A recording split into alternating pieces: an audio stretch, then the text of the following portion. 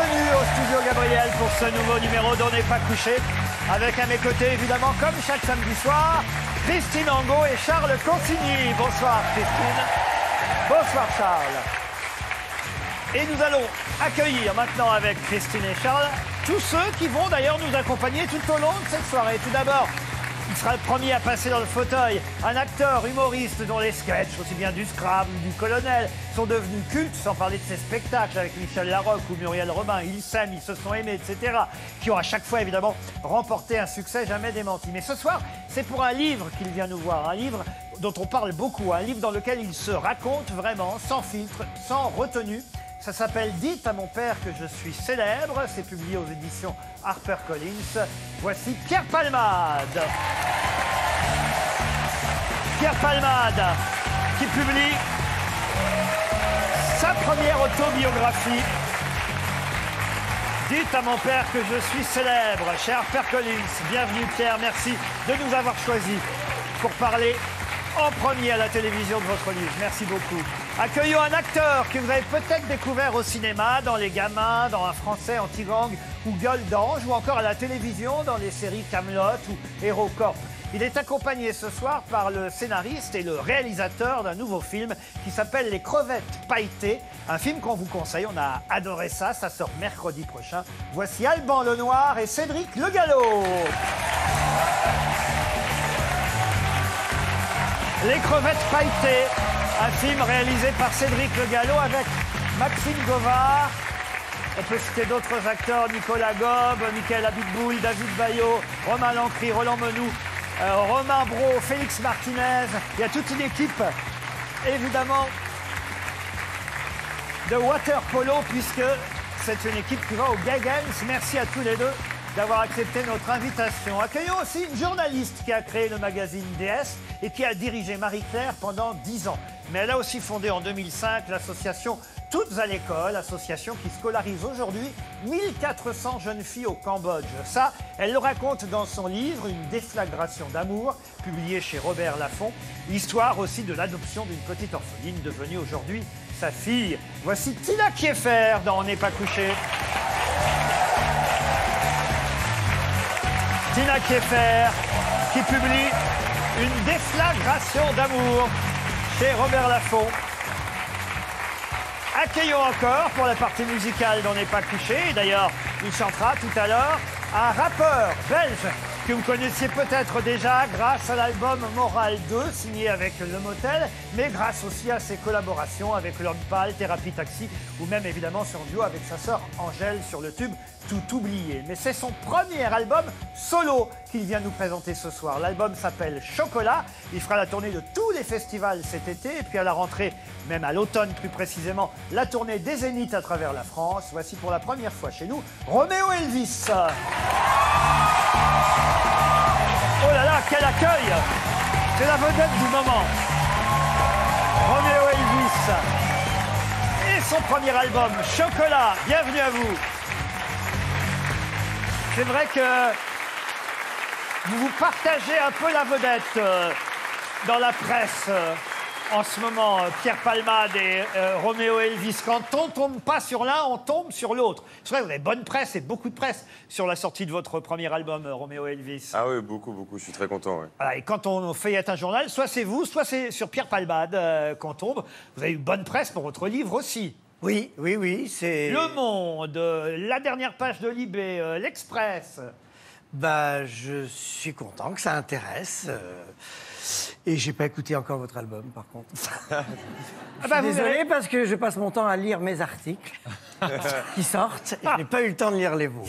Bah, vous verrez, il y a une chanson qui vous plaira euh, sûrement. Et d'ailleurs, on écoutera un extrait euh, euh, tout à l'heure parce que même euh, s'il nous chantera Malade, le succès euh, du moment de son premier album, il y a une autre chanson, c'est normal, hein, je crois que c'est ça, euh, qui conviendrait pas mal à, à- à l'état d'esprit euh, de Pierre Palmade en ce moment. Vous voyez ce que je veux dire? Ouais, c'est possible. ouais. Ouais, qu'est-ce qu'on dit dans cette chanson? Qu'est-ce qu'on dit dans cette chanson Ouais. Bah, Qu'on a envie d'être normal et qu'on est un peu sous pression et qu'on a envie de mettre euh, le bouton sur pause. Vous avez une vraie voix grave, alors, comme sur l'album. Hein, c'est pas trafiqué, donc. euh. Non, non, c'est un genre que je me donne plus. Bienvenue en tout cas, bienvenue à Tina Kieffer aussi. Je vous souhaite euh, tout autant de presse pour votre livre. Pour les crevettes pailletées aussi, hein. Ça sort mercredi prochain, on en parlera. Mais j'ai d'abord une question à vous poser sur l'actualité. Est-ce que vous avez défilé euh, le 1er mai dernier, les uns ou les autres? Non, non.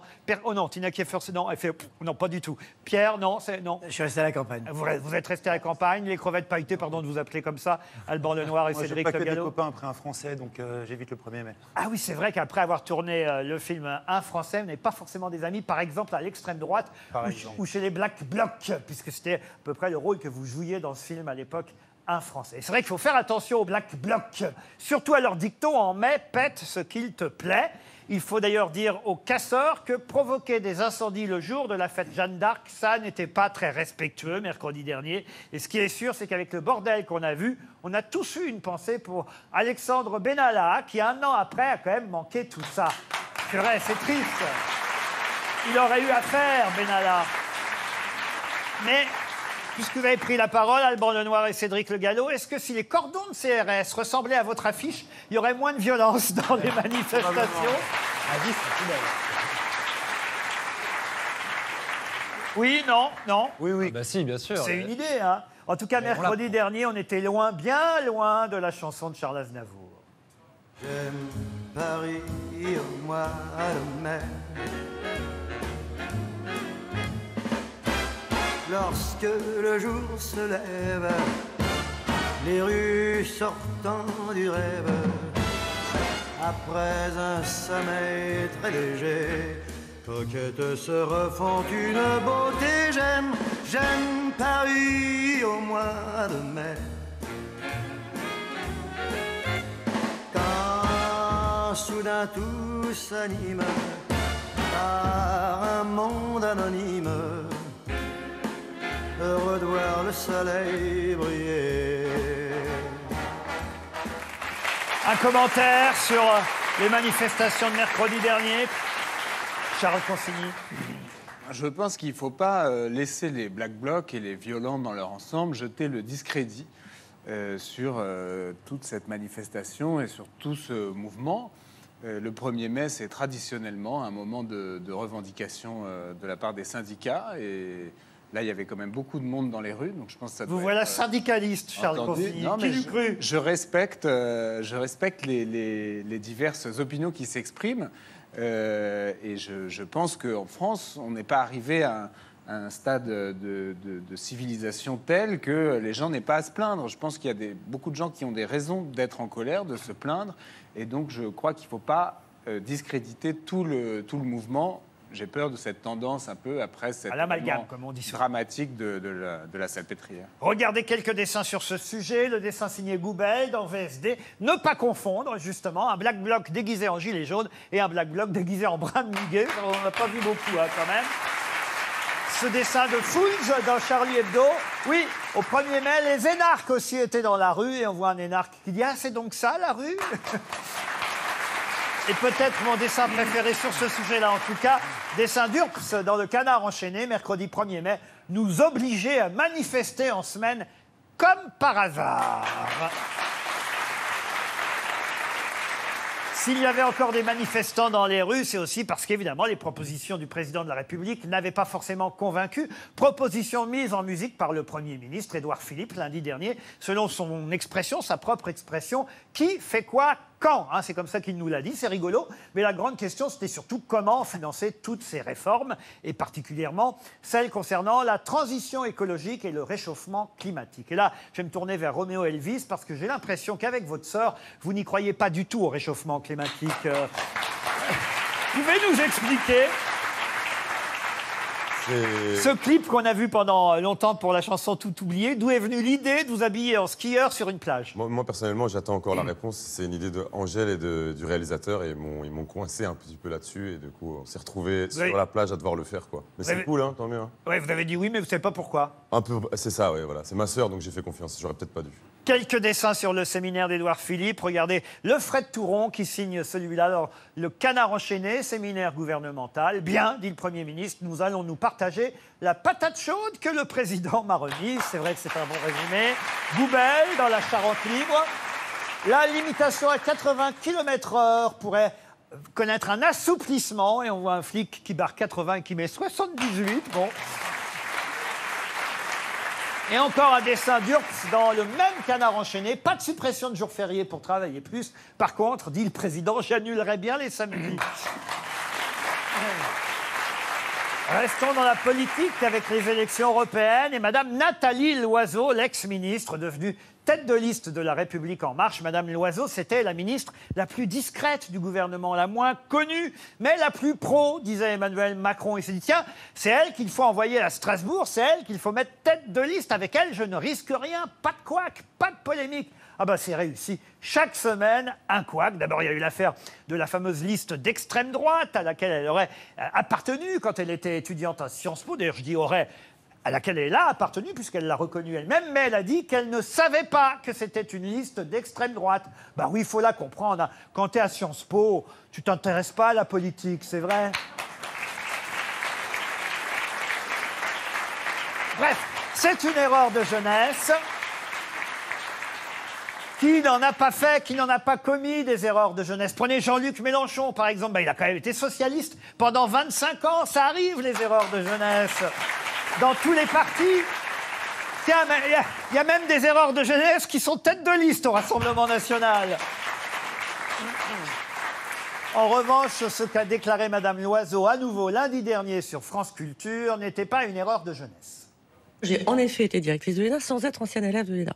Je sais ce à quoi je me suis heurtée, c'est-à-dire énormément de conservatisme de la haute administration, celle que j'avais en face de moi. Disons les choses, j'ai pas été accueillie avec des fleurs en étant euh, pas ancienne élève de l'ENA, femme et moins de 50 ans. J'avais l'impression d'être une romanichelle quand je suis arrivée à la tête de l'ENA. J'avais l'impression d'être une Romanichelle. Elle n'en rate pas une. Quand on pense qu'elle a été directrice de l'ENA, finalement Emmanuel Macron a raison de la supprimer, hein, cette école nationale de l'administration. Ouais, en je- même temps, oui, Je cherche, je cherche, je crois pas en avoir fait des erreurs de jeunesse. Réfléchis, j'en trouve pas. Bah, faut dire ça dépend ce que vous appelez jeunesse, évidemment, Pierre. Bien sûr, bien sûr. Nous en parlerons. vous êtes resté jeune jusqu'à... Jusqu'à hier. Voilà, c'est ça.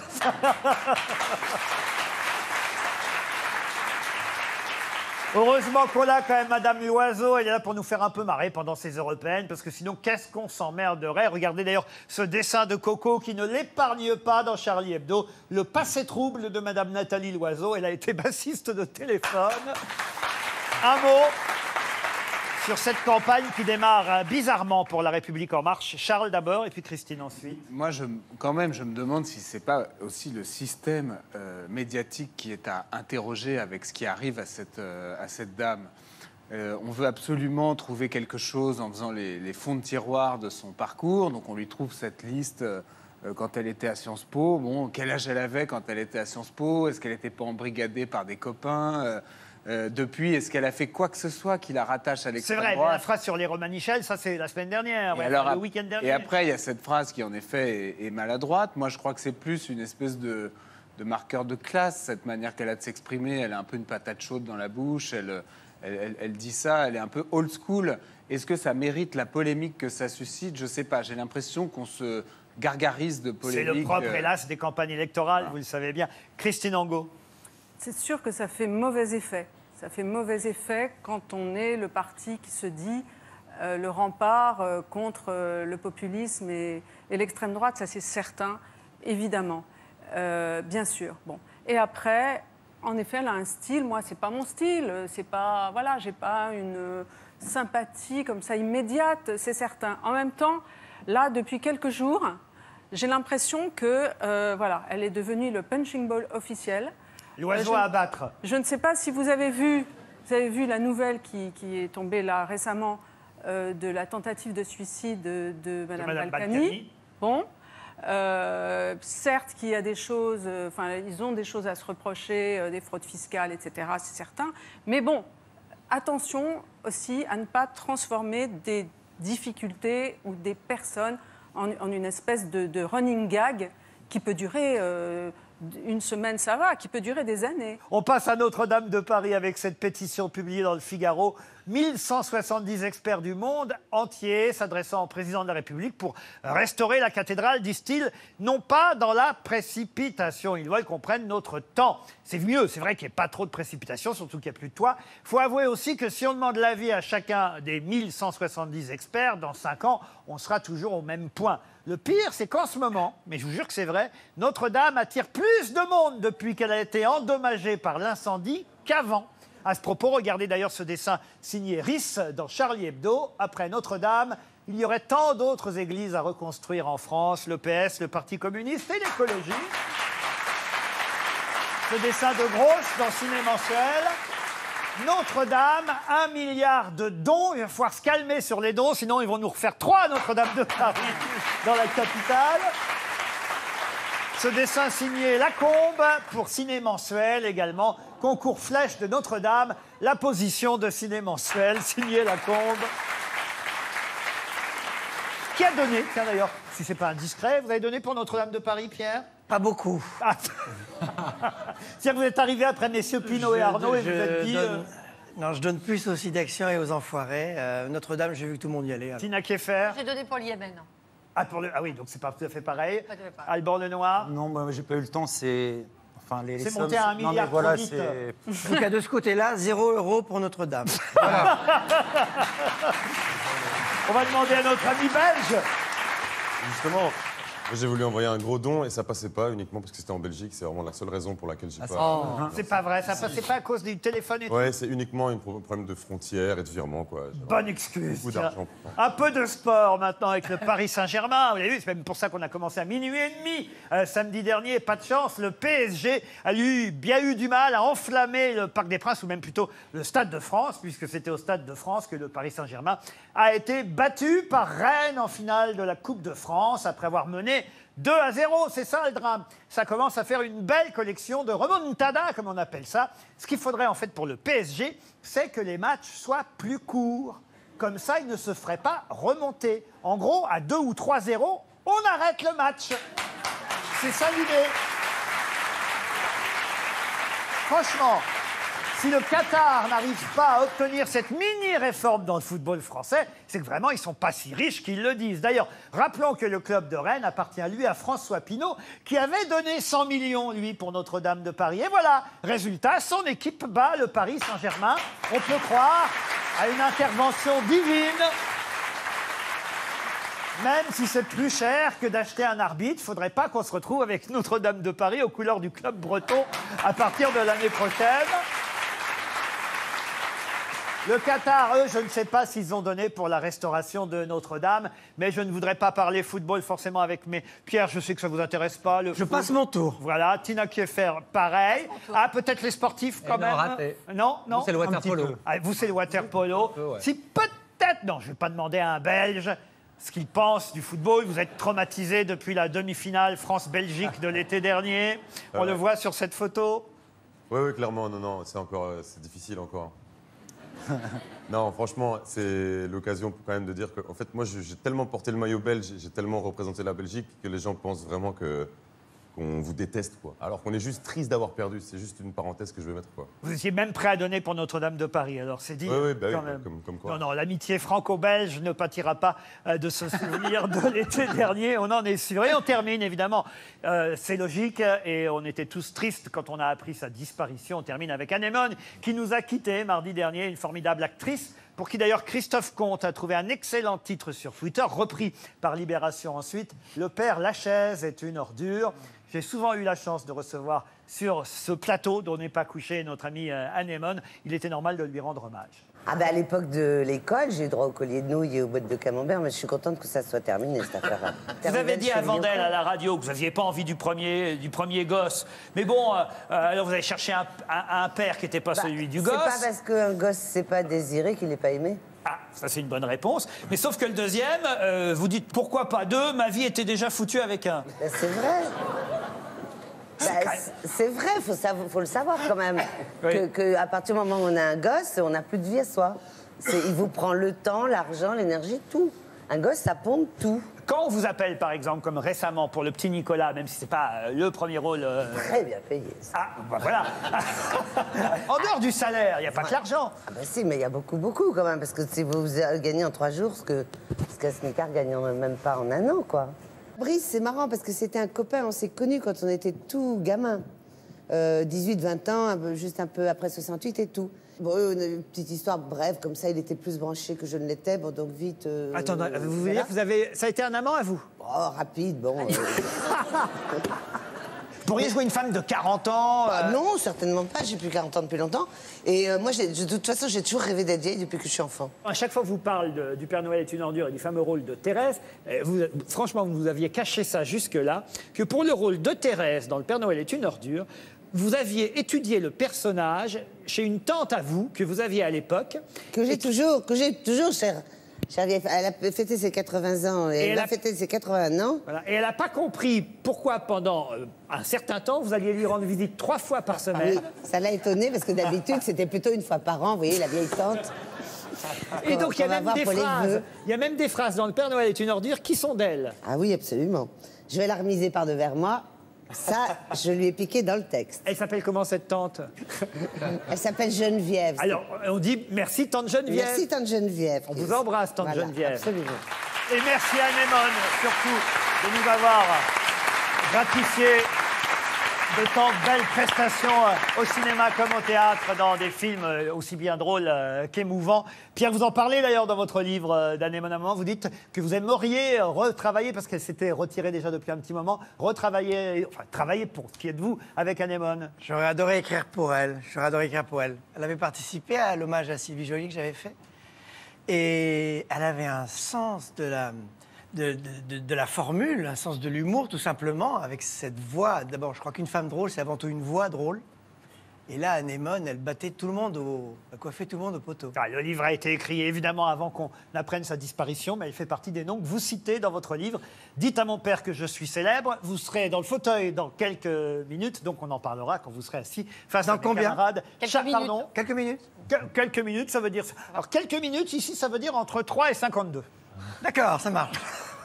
Ça vous va? Euh, Ça va, ça, ça stresse un peu. Ah, ça- bon, Vous n'êtes pas aussi stressé qu'Albert Lenoir, c'est pas possible. Il paraît qu'il est terrorisé. Terrorisé, je confirme. vous et vos camarades devriez, en tout cas je vous le souhaite parce que euh, ça a été une vraie surprise pour moi quand j'ai vu ce film, euh, vous devriez faire un carton dans les salles. En tout cas c'est vraiment tout le, le bonheur que je vous souhaite parce que ces crevettes euh, pailletées, voilà un film bien original alors qu'on pourrait croire qu'il ne l'est pas parce que c'est vrai qu'à cause de cette affiche et du thème, le water polo, après le succès du grand bain, on pourrait se dire tiens voilà, ça y est, ils nous font le coup. Cette fois c'est, allez, euh, je vais le dire de façon triviale, euh, les PD dans la piscine, quoi.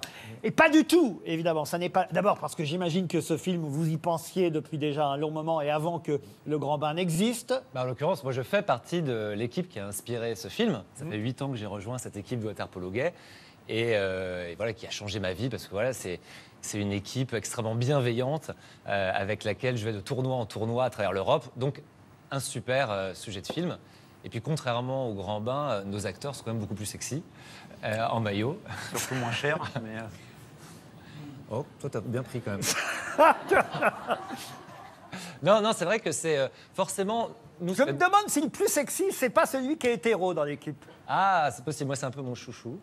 Même, Parce même que si j'adore Vous Alban. allez tout comprendre du film quand on va regarder la bande-annonce. Mais moi, pourquoi je dis que ça a été une surprise C'est tout simplement parce que. Voilà, je me suis dit, allez, encore un film avec des clichés. Et puis, alors, euh, le- alors, voilà, la piscine, le grand bain. euh, euh, pff, c'est- Ah non, ça va pas me plaire, ça. c'est- J'étais j'étais persuadé que ça ne me plairait pas. Et puis alors, euh, je me suis laissé emporter, d'abord parce que c'est drôle, mais aussi parce que c'est émouvant, très émouvant. Et même, c'est le premier film sur lequel je vois, euh, on va dire qu'on se sert des clichés, évidemment, qu'il y a sur l'homosexualité pour les combattre, mais sur tous les clichés, y compris, et ça c'est moins cliché, parce que ça on le sait moins et on le voit moins, que ce soit à la télévision ou au cinéma, on va dire les querelles qu'il peut y avoir au sein même de ce qu'on appelle une communauté, mais est-ce qu'elle existe vraiment cette communauté? C'est-à-dire la communauté homosexuelle, c'est-à-dire qu'un un homo peut très bien pas euh, supporter un trans, un trans peut très bien ne pas supporter un travesti, un travesti Christie va pas supporter un PD qui a une vie rangée, qui s'est embourgeoisé, et, un, vieux, vieil homo, lui, va trouver que non, un vieil homo, ça doit résister justement à, ce qui a peut-être perverti euh, la société chez les hétéros. Et tous ces gens-là, on les retrouve ensemble, et on s'aperçoit qu'au fond, ben, c'est le reflet de la société, qu'on soit homo ou hétéro, c'est partout pareil. Ben, c'est exactement ça. C'est important de ne pas édulcorer non plus les querelles qu'on peut avoir. C'est-à-dire qu'on n'est pas une armée de bisounours, on a aussi des différents. Euh, et surtout dans une équipe comme ça de sport où ça va euh, de 20 ans, le petit jeune qui découvre un peu la vie homo, et jusqu'à euh, 60 ans, euh, le doyen militant de la bande qui râle tout le temps. Donc euh, oui, il y a une grande diversité. Et l'autre truc qui me faisait peur, c'était les Gay Games. J'ai changé d'avis là-dessus, mais pendant des années, je me disais, mais pourquoi on fait euh, des Jeux Olympiques gays Je trouvais ça ridicule, quoi. Je trouvais ça. J'ai longtemps trouvé ça idiot. J'ai changé d'avis euh, là-dessus depuis quelques années, mais quand même, je me suis dit, oh là là. Et en plus, les Gay Games. Ben non, ça marche, et j'espère que ça va cartonner. Ça sort mercredi prochain. Regardez la bande-annonce. Excusez-moi, c'est c'est ici l'association homosexuelle pour l'intégration, la tolérance et le, le respect dans le water polo. On ressemble à une bande de PD Je sais pas, non Et voici Vous avez rencontré notre nouveau coach? Vous le reconnaissez pas? Mathias Le Goff, champion du monde d'homophobie. Bon, allez, vas-y, lâche-moi le cul, et toi, arrête la caméra, c'est bon. Il a donc été décidé de conditionner la participation de Mathias Le Goff au prochain championnat du monde à une mission d'intérêt général au sein d'une association sportive homosexuelle. 3, 4, on va vous décortiquer, aura la responsabilité d'entraîner pendant trois mois. Vous allez faire 200 mètres en rétropédalage, ça va vous calmer. C'est toi la rétropédale. Avant de les conduire en Croatie aux Gay Games. C'est quoi les Gay Games? C'est comme les JO, en moins chiant, avec que des beaux mecs. Allez, entraînement surprise. Olé. C'est quoi la meilleure façon de faire un pressing? Fred? Le nettoyage à sec On En lesbienne, y a yen. Et putain, mais je comprends plus rien, on a le droit de dire des trucs comme ça Nous, oui, mais toi, non. Les amis gays, j'en ai plein. Ce sont des gens brillants et extrêmement raffinés. Pourquoi vous mettez votre bite à l'air Remets ton slip Vous en avez rien à foutre de rien, en fait. Alors si vous supportez plus, on n'est pas obligé d'y aller, d'accord Eux aussi, tu voulais les abandonner Même ta propre fille. Bientôt, elle voudra plus te voir. Les Gay Games, c'est pas qu'une énorme fête. C'est aussi le moment où on peut montrer au monde qu'on est solidaire et qu'on existe. Moi, j'ai pas le temps pour ce cirque. Il y a sanction, Mathias. Une belle bande de mecs qui traversent la moitié de l'Europe en bus. C'est sûr, il va se passer des trucs. Il y a une règle dans l'équipe, pas de levrette entre crevettes.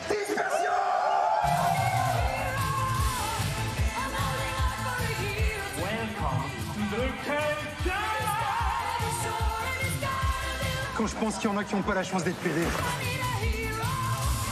Et le nom, vous avez trouvé ça comment? Dans la crevette, le meilleur c'est la queue. Et puis avec des paillettes, c'est encore mieux? D'accord. Les crevettes pailletées, ça sort mercredi prochain.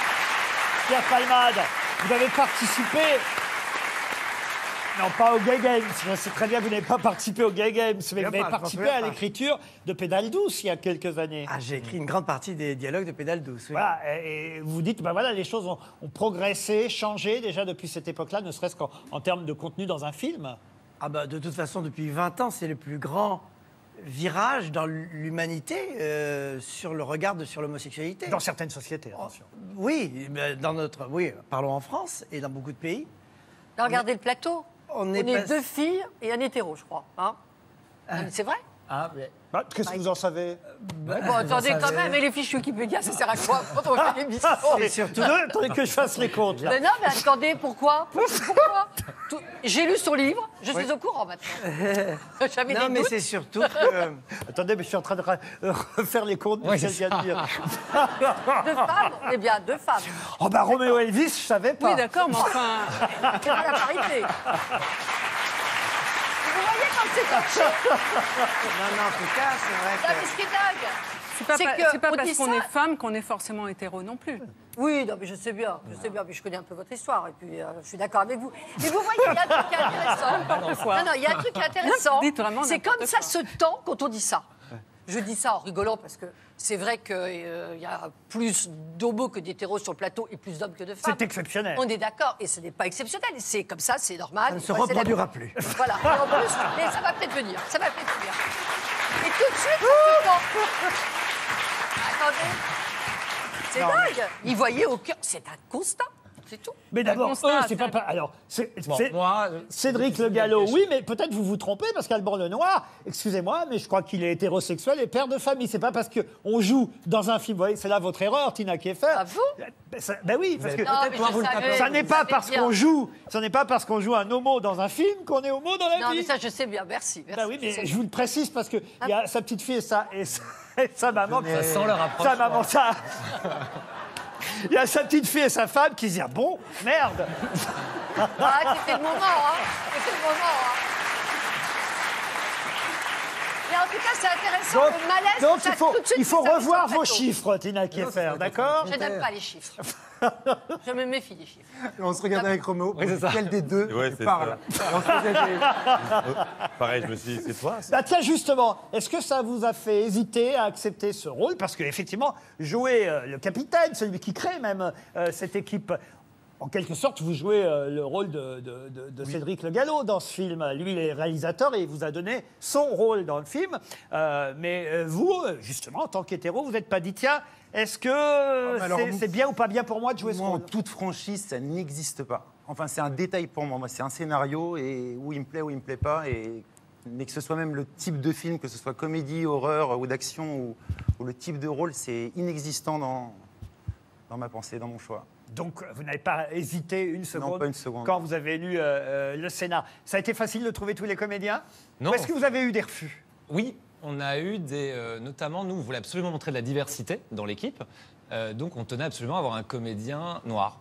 Euh, alors que dans le scénario, ça, voilà, c'est pas obligatoire, mais pour nous, c'est important de montrer euh, une diversité. Et c'est vrai qu'on a eu, par exemple, du mal à trouver euh, euh, un comédien noir qui accepte de jouer un homosexuel.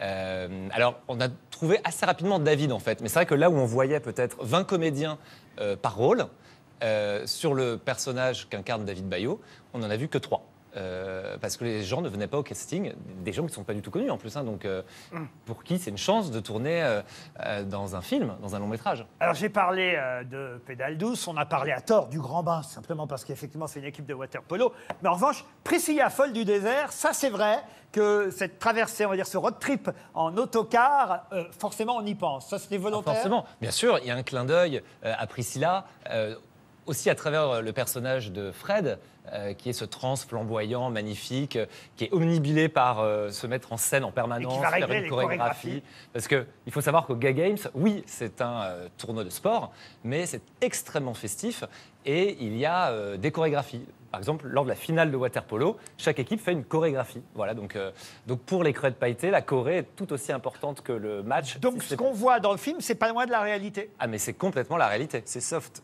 Ah, c'est soft. C'est vrai. Non, mais c'est vrai. Allez-y, Alban Lenoir. Non, non, mais moi qui ai passé quelques soirées avec les vraies crevettes pailletées, quand j'entends oh là là, le film, il est. C'est soft. Oui, c'est ça. euh, Ce qu'on pourrait croire Non, non. caricatural, au fond, ne l'est pas. C'est comme ça que ça se passe. Oui, c'est comme ça. Puis, puis surtout, on, enfin, c'est pas traité. On, on globalise pas euh, cette communauté, comme vous dites. C'est ce groupe-là, c'est cette équipe-là. C'est pas tous les gays. C'est le film de Cédric, c'est son histoire, c'est sa vision. Et voilà. Laurent, j'ai oublié de vous donner un truc. Ah, non, vous n'allez pas me donner un blouson bleu. Hein. Oh là non.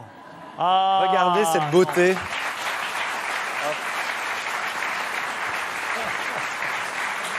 En principe, c'est votre taille. Hop, je vous laisse vous dépatouiller. Pas sûr que je vais le mettre pendant l'émission, mais je vous promets que euh, dès que je vais à la piscine, je le mets. Pourquoi il m'a Mettez-le pour choisi voir si c'est la bonne taille. Pourquoi il m'a choisi Je vais, je vais l'essayer, je vous promets. Ça va avec Promis, hein. tout, ça va avec tout. J'allais dire, je vais l'enfiler. ce qui Petit n'est bleu pas- satiné. Vous êtes d'accord, c'est pas le mot. hein. Vous avez aimé le film, Christine Angot? Oui, ça m'a fait peur hein, au début. À vous aussi? Ah oui, ah bah oui, au début j'ai eu peur. hein. Et puis, et puis non, parce que tous les pièges sont déjoués, mais vraiment tous. Il y en a plein. On se dit, voyons, je suis dans. Est-ce que je suis dans 120 battements par minute? Est-ce que je suis dans le full Monty? Est-ce que je suis dans les invisibles? Et en fait, je suis dans rien de tout ça parce que ça part en effet de, de- des clichés. Et puis très vite, on, est embarqué. C'est c'est c'est jamais agressif et pour autant c'est très percutant. C'est-à-dire que ça dit vraiment quelque chose. C'est pas juste, euh, c'est très distrayant, très gai et très émouvant. Euh, mais euh, c'est, oui, c'est percutant, ça dit quelque chose. Au final, on se retrouve avec euh, une espèce de portrait de groupe d'homosexuels avec un S, C'est-à-dire que ça n'exi- avant, au cinéma, quand il y avait un homosexuel dans un film, c'était l'homosexuel et il avait un certain type, il avait un certain style et c'était le même dans tous les films. Bon, ben là, non. Non, non. Ce sont des personnes, il y en a de toutes sortes, et euh, chacun est, euh, est lui-même. Donc c'est vraiment un portrait de groupe comme ça qui, ça, révolutionne quelque chose quand même, dans, dans- même dans l'image comme ça au cinéma, parce qu'il n'y a pas ça normalement tout d'habitude, très très très euh, cliché. Puis il y a des choses justes, par exemple la fête, la fête qui est plus forte que tout, s'amuser, en profiter, enfin bon tout ça, et puis en même temps la mort euh, qui est là dans un coin, qui rôde, euh, une chose expliquant l'autre. euh, et enfin non, il y a vraiment beaucoup beaucoup de choses, beaucoup. Moi, Je je vous en reparlerai tout à l'heure, mais c'est vrai que, voilà, moi, je, Et je- puis, vous aussi, vous avez, voulais vous avez eu, juste- eu la larme à l'œil à la fin du film? Absolument. Moi aussi, j'ai Mais je voulais juste dire aussi qu'en plus, ça me paraît un, un film important aussi en ce moment parce que ça, c'est un petit livre, que sais-je, qui s'appelle L'homophobie, euh, écrit par Caroline Mécari. Et en ce moment aussi, on est dans une sorte de régression, parce qu'on parle de. Mais enfin, il y a quand même une régression de ce point de vue en ce moment. Euh, et donc, je me demandais d'ailleurs si euh, peut y avoir un sentiment de danger enfin, je sais pas, on a vu il y a, combien de temps, il y a quelques semaines, il y a un jeune homme qui était en boîte avec un de ses amis, qui est rentré chez lui, qui a ils ont fait une mauvaise rencontre. Euh, il, a été, il a été égorgé, enfin, il a été tué, quoi. Enfin, je veux dire, ça arrive, il y a beaucoup d'agressions comme ça aussi maintenant. Je ne sais pas si, par exemple, vous, vous, avez, vous pensez à ce danger-là actuellement, ou si la fête euh, continue. Gallo Bien sûr, on y pense et on le montre dans le film d'ailleurs, Mmh. sans, sans tout dévoiler, mais c'est vrai que, que le sujet euh, est abordé. Oui, il y a une scène dans la station, euh, c'est station Dans une essence, hein. station euh, essence euh, allemande. Euh, donc oui, bien sûr, ça existe. Euh, c'est vrai que moi, à titre personnel, avec ma bande, on se sent beaucoup plus fort ensemble. Donc, euh, donc on le sent moins à titre individuel. La une de l'équipe magazine, regardez, elle vous rend hommage aussi euh, cette semaine. Voilà, embrassez qui vous voudrez, puisque on parle aussi du problème de l'homophobie euh, dans le sport. C'est ce week-end l'équipe magazine qui consacre euh, aussi euh, sa une euh, à ce sujet. C'est donc un film qui tombe pile poil au bon moment. Charles Consigny, vous nous en dites quelques mots maintenant ou tout à l'heure, comme vous voulez. Euh, je peux- Non, mais juste en un mot maintenant pour. Mais ça nous fera l'occasion d'un dialogue. Moi, je ne partage pas tout à fait le- le- l'enthousiasme de mes deux camarades. Euh, Peut-être j'ai pas compris le film de la même manière, mais moi, j'ai trouvé au contraire que c'était assez cliché sur, euh, sur l'homosexualité. Et ça rejoint un peu ce qu'a dit Tina Kiefer tout à l'heure, c'est-à-dire on est une époque qui veut absolument euh, mettre des étiquettes sur les gens. Il faut que les gens se déclarent, il faut qu'ils fassent leur coming out, euh, euh, il faut qu'ils soient clairs dans leur, dans leur tête, il faut qu'ils s'affichent comme ci ou comme ça. Et moi, je pense que l'être humain est infiniment plus subtil, y compris que ce, panel de personnages. Je pense qu'il y a des gens... euh, sont pas sûrs de, de- ce qu'ils sont, est-ce qu'ils sont homo-hétéros, est-ce qu'ils ont forcément besoin de faire leur coming out pour vivre leur homosexualité, je suis pas certain. Euh, Et ça voilà. paraît, vous avez raison, mais c'est aussi ce qu'on Je dans le film. Certains oui et certains non. Si vous, voulez, si vous voulez, justement, je trouve que. Alors après, je peux me tromper, c'est l'impression que j'ai, etc. J'espère que je me trompe. Mais justement, en période un peu de recrudescence d'homophobie, je trouve que euh, présenter les homosexuels, même si c'est pas tous, comme vous l'avez dit, mais enfin, ça donne quand même. euh, une, image des homosexuels qui, je trouve, est extrêmement caricaturale. C'est-à-dire qu'on a l'impression que tous les homosexuels euh, ne pensent qu'à euh, se foutre à poil tout le temps, euh, faire la fête tout le temps, ricaner, etc. Et donc, alors c'est peut-être votre groupe ou, ou c'est ce groupe-là, d'accord, mais je trouve que l'image des homos ne sort pas du tout grandie de, ce, de ce film, quoi. Moi, moi, je préfère qu'au contraire, on montre que les homos sont des gens comme les autres qui, euh, pour certains, n'aiment pas du tout faire la fête, n'aiment pas du tout se déguiser, euh, n'aiment pas du tout ricaner, euh, sont au contraire des gens austères, experts Mais comptables. là-dessus, je suis d'accord avec vous. Voilà. Je vais répondre aussi. Je suis d'accord avec vous, Charles, mais ça, n'est pas pour autant mais- qu'il faille nier qu'il existe aussi chez les hétéros comme chez les homos, d'ailleurs, des gens qui ont envie de s'amuser, de faire la fête Oui. et de faire du sport et d'aller à des ou hétéros ou gays. Non, mais ça dit une Répondez. certaine réalité de la chose, mais à Répondez. mon sens, c'est caricatural. Bah, en l'occurrence, moi, c'est l'histoire de ma vie et de ma bande de potes. Donc, je vais pas l'édulcorer euh, pour faire plaisir à des gens, euh, peut-être effectivement euh, un peu plus claquemurés, qui vont jamais en boîte, etc. Euh, et ils ont le droit d'exister. Et, euh, et vous avez le droit d'avoir envie de voir ce genre d'histoire au cinéma, des gays experts comptables euh, qui vont jamais dans un bar gay. Et ça peut être une super histoire. je pense que ça peut être Mais, euh, mais à ce Pourquoi moment-là- expert comptable? Mais je reprends ces, je reprends ces mots. Mais, mais c'est vrai que. salue, non, mais évidemment, et en plus, on peut faire. euh, toutes les histoires méritent d'être racontées. Moi, je raconte la mienne, je raconte celle de ma bande de potes. En l'occurrence, on est comme ça. Si vous avez envie de raconter notre histoire, je vous invite à écrire un scénario et à en faire un film. Et, pourquoi pas Et pourquoi pas C'est intéressant. C'est vrai ce qui que. se passe. mais C'est là où sûr. je vous rejoins pas parce que ce qui se passe sur le plateau entre vous et Cédric Le Gallo, c'est exactement aussi ce que montre Mais le absolument. film. C'est-à-dire les rivalités entre. C'est pas parce qu'on est homo qu'on pense la On même chose. C'est pas parce qu'on est homo qu'on a qu'on se ressemble. C'est pas parce qu'on est homosexuel qu'on va avoir le même avis. Surtout, c'est pas parce qu'on est homosexuel qu'on a la même façon de vivre. C'est exactement ça que montre le film, Charles. C'est là où je vous rejoins pas. Mais il y a des hétéros qui se détestent entre eux, il y a des hétéros qui ont honte des supporters du PSG, euh, comme ils Absolument. conduisent, Mmh. C'est ou qui ont ça. honte de, de comment un mec va draguer une femme, euh, ils vont faire... On vous donne envie d'y aller, vous, ou pas, Pierre Palmade Ben, je sais que ça existe, je l'ai vu ce milieu, je l'ai fréquenté à Paris dans le milieu gay. C'est un milieu très extravagant, hystérique, en groupe qui rit, qui est drôle.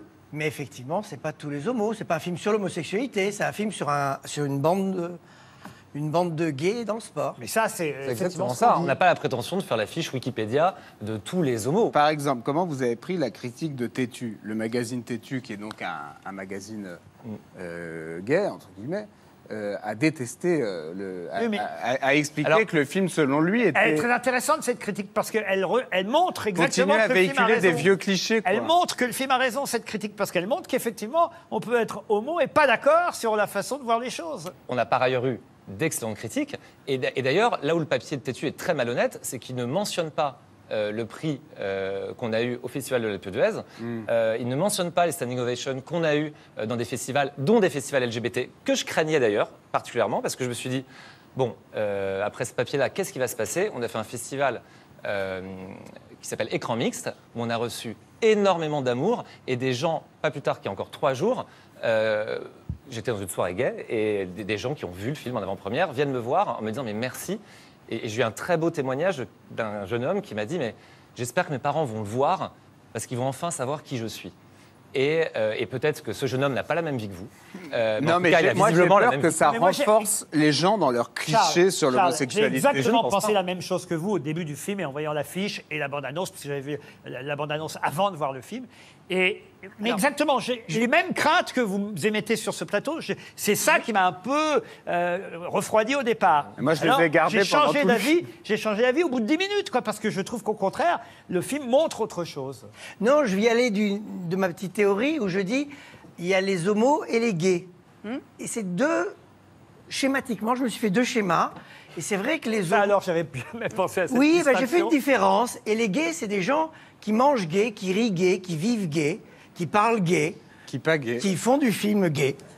Et euh, qui pas pas- Et les homos, ce sont des gens qui sont homos, mais c'est pas marqué sur leur front. On ne le sait pas quand ils parlent, on ne le sait pas quand ils vivent.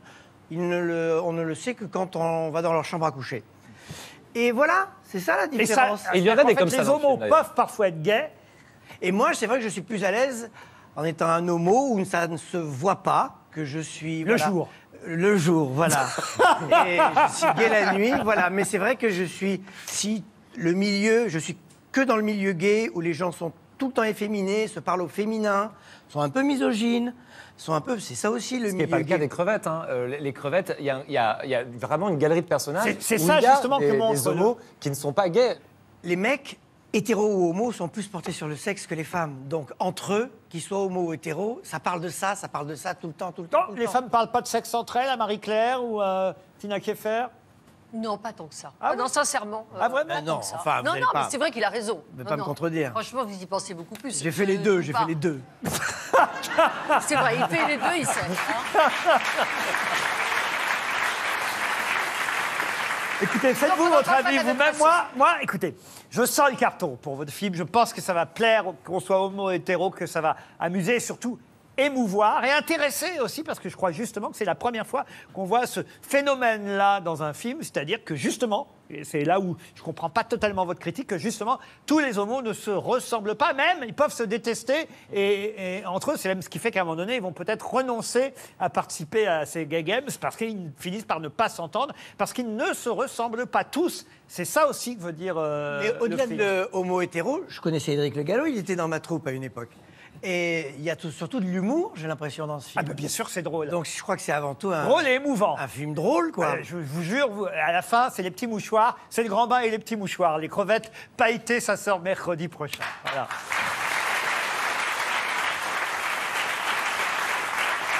Tina Kieffer, une déflagration d'amour, c'est pas seulement l'amour pour une petite fille, c'est aussi l'amour pour un pays.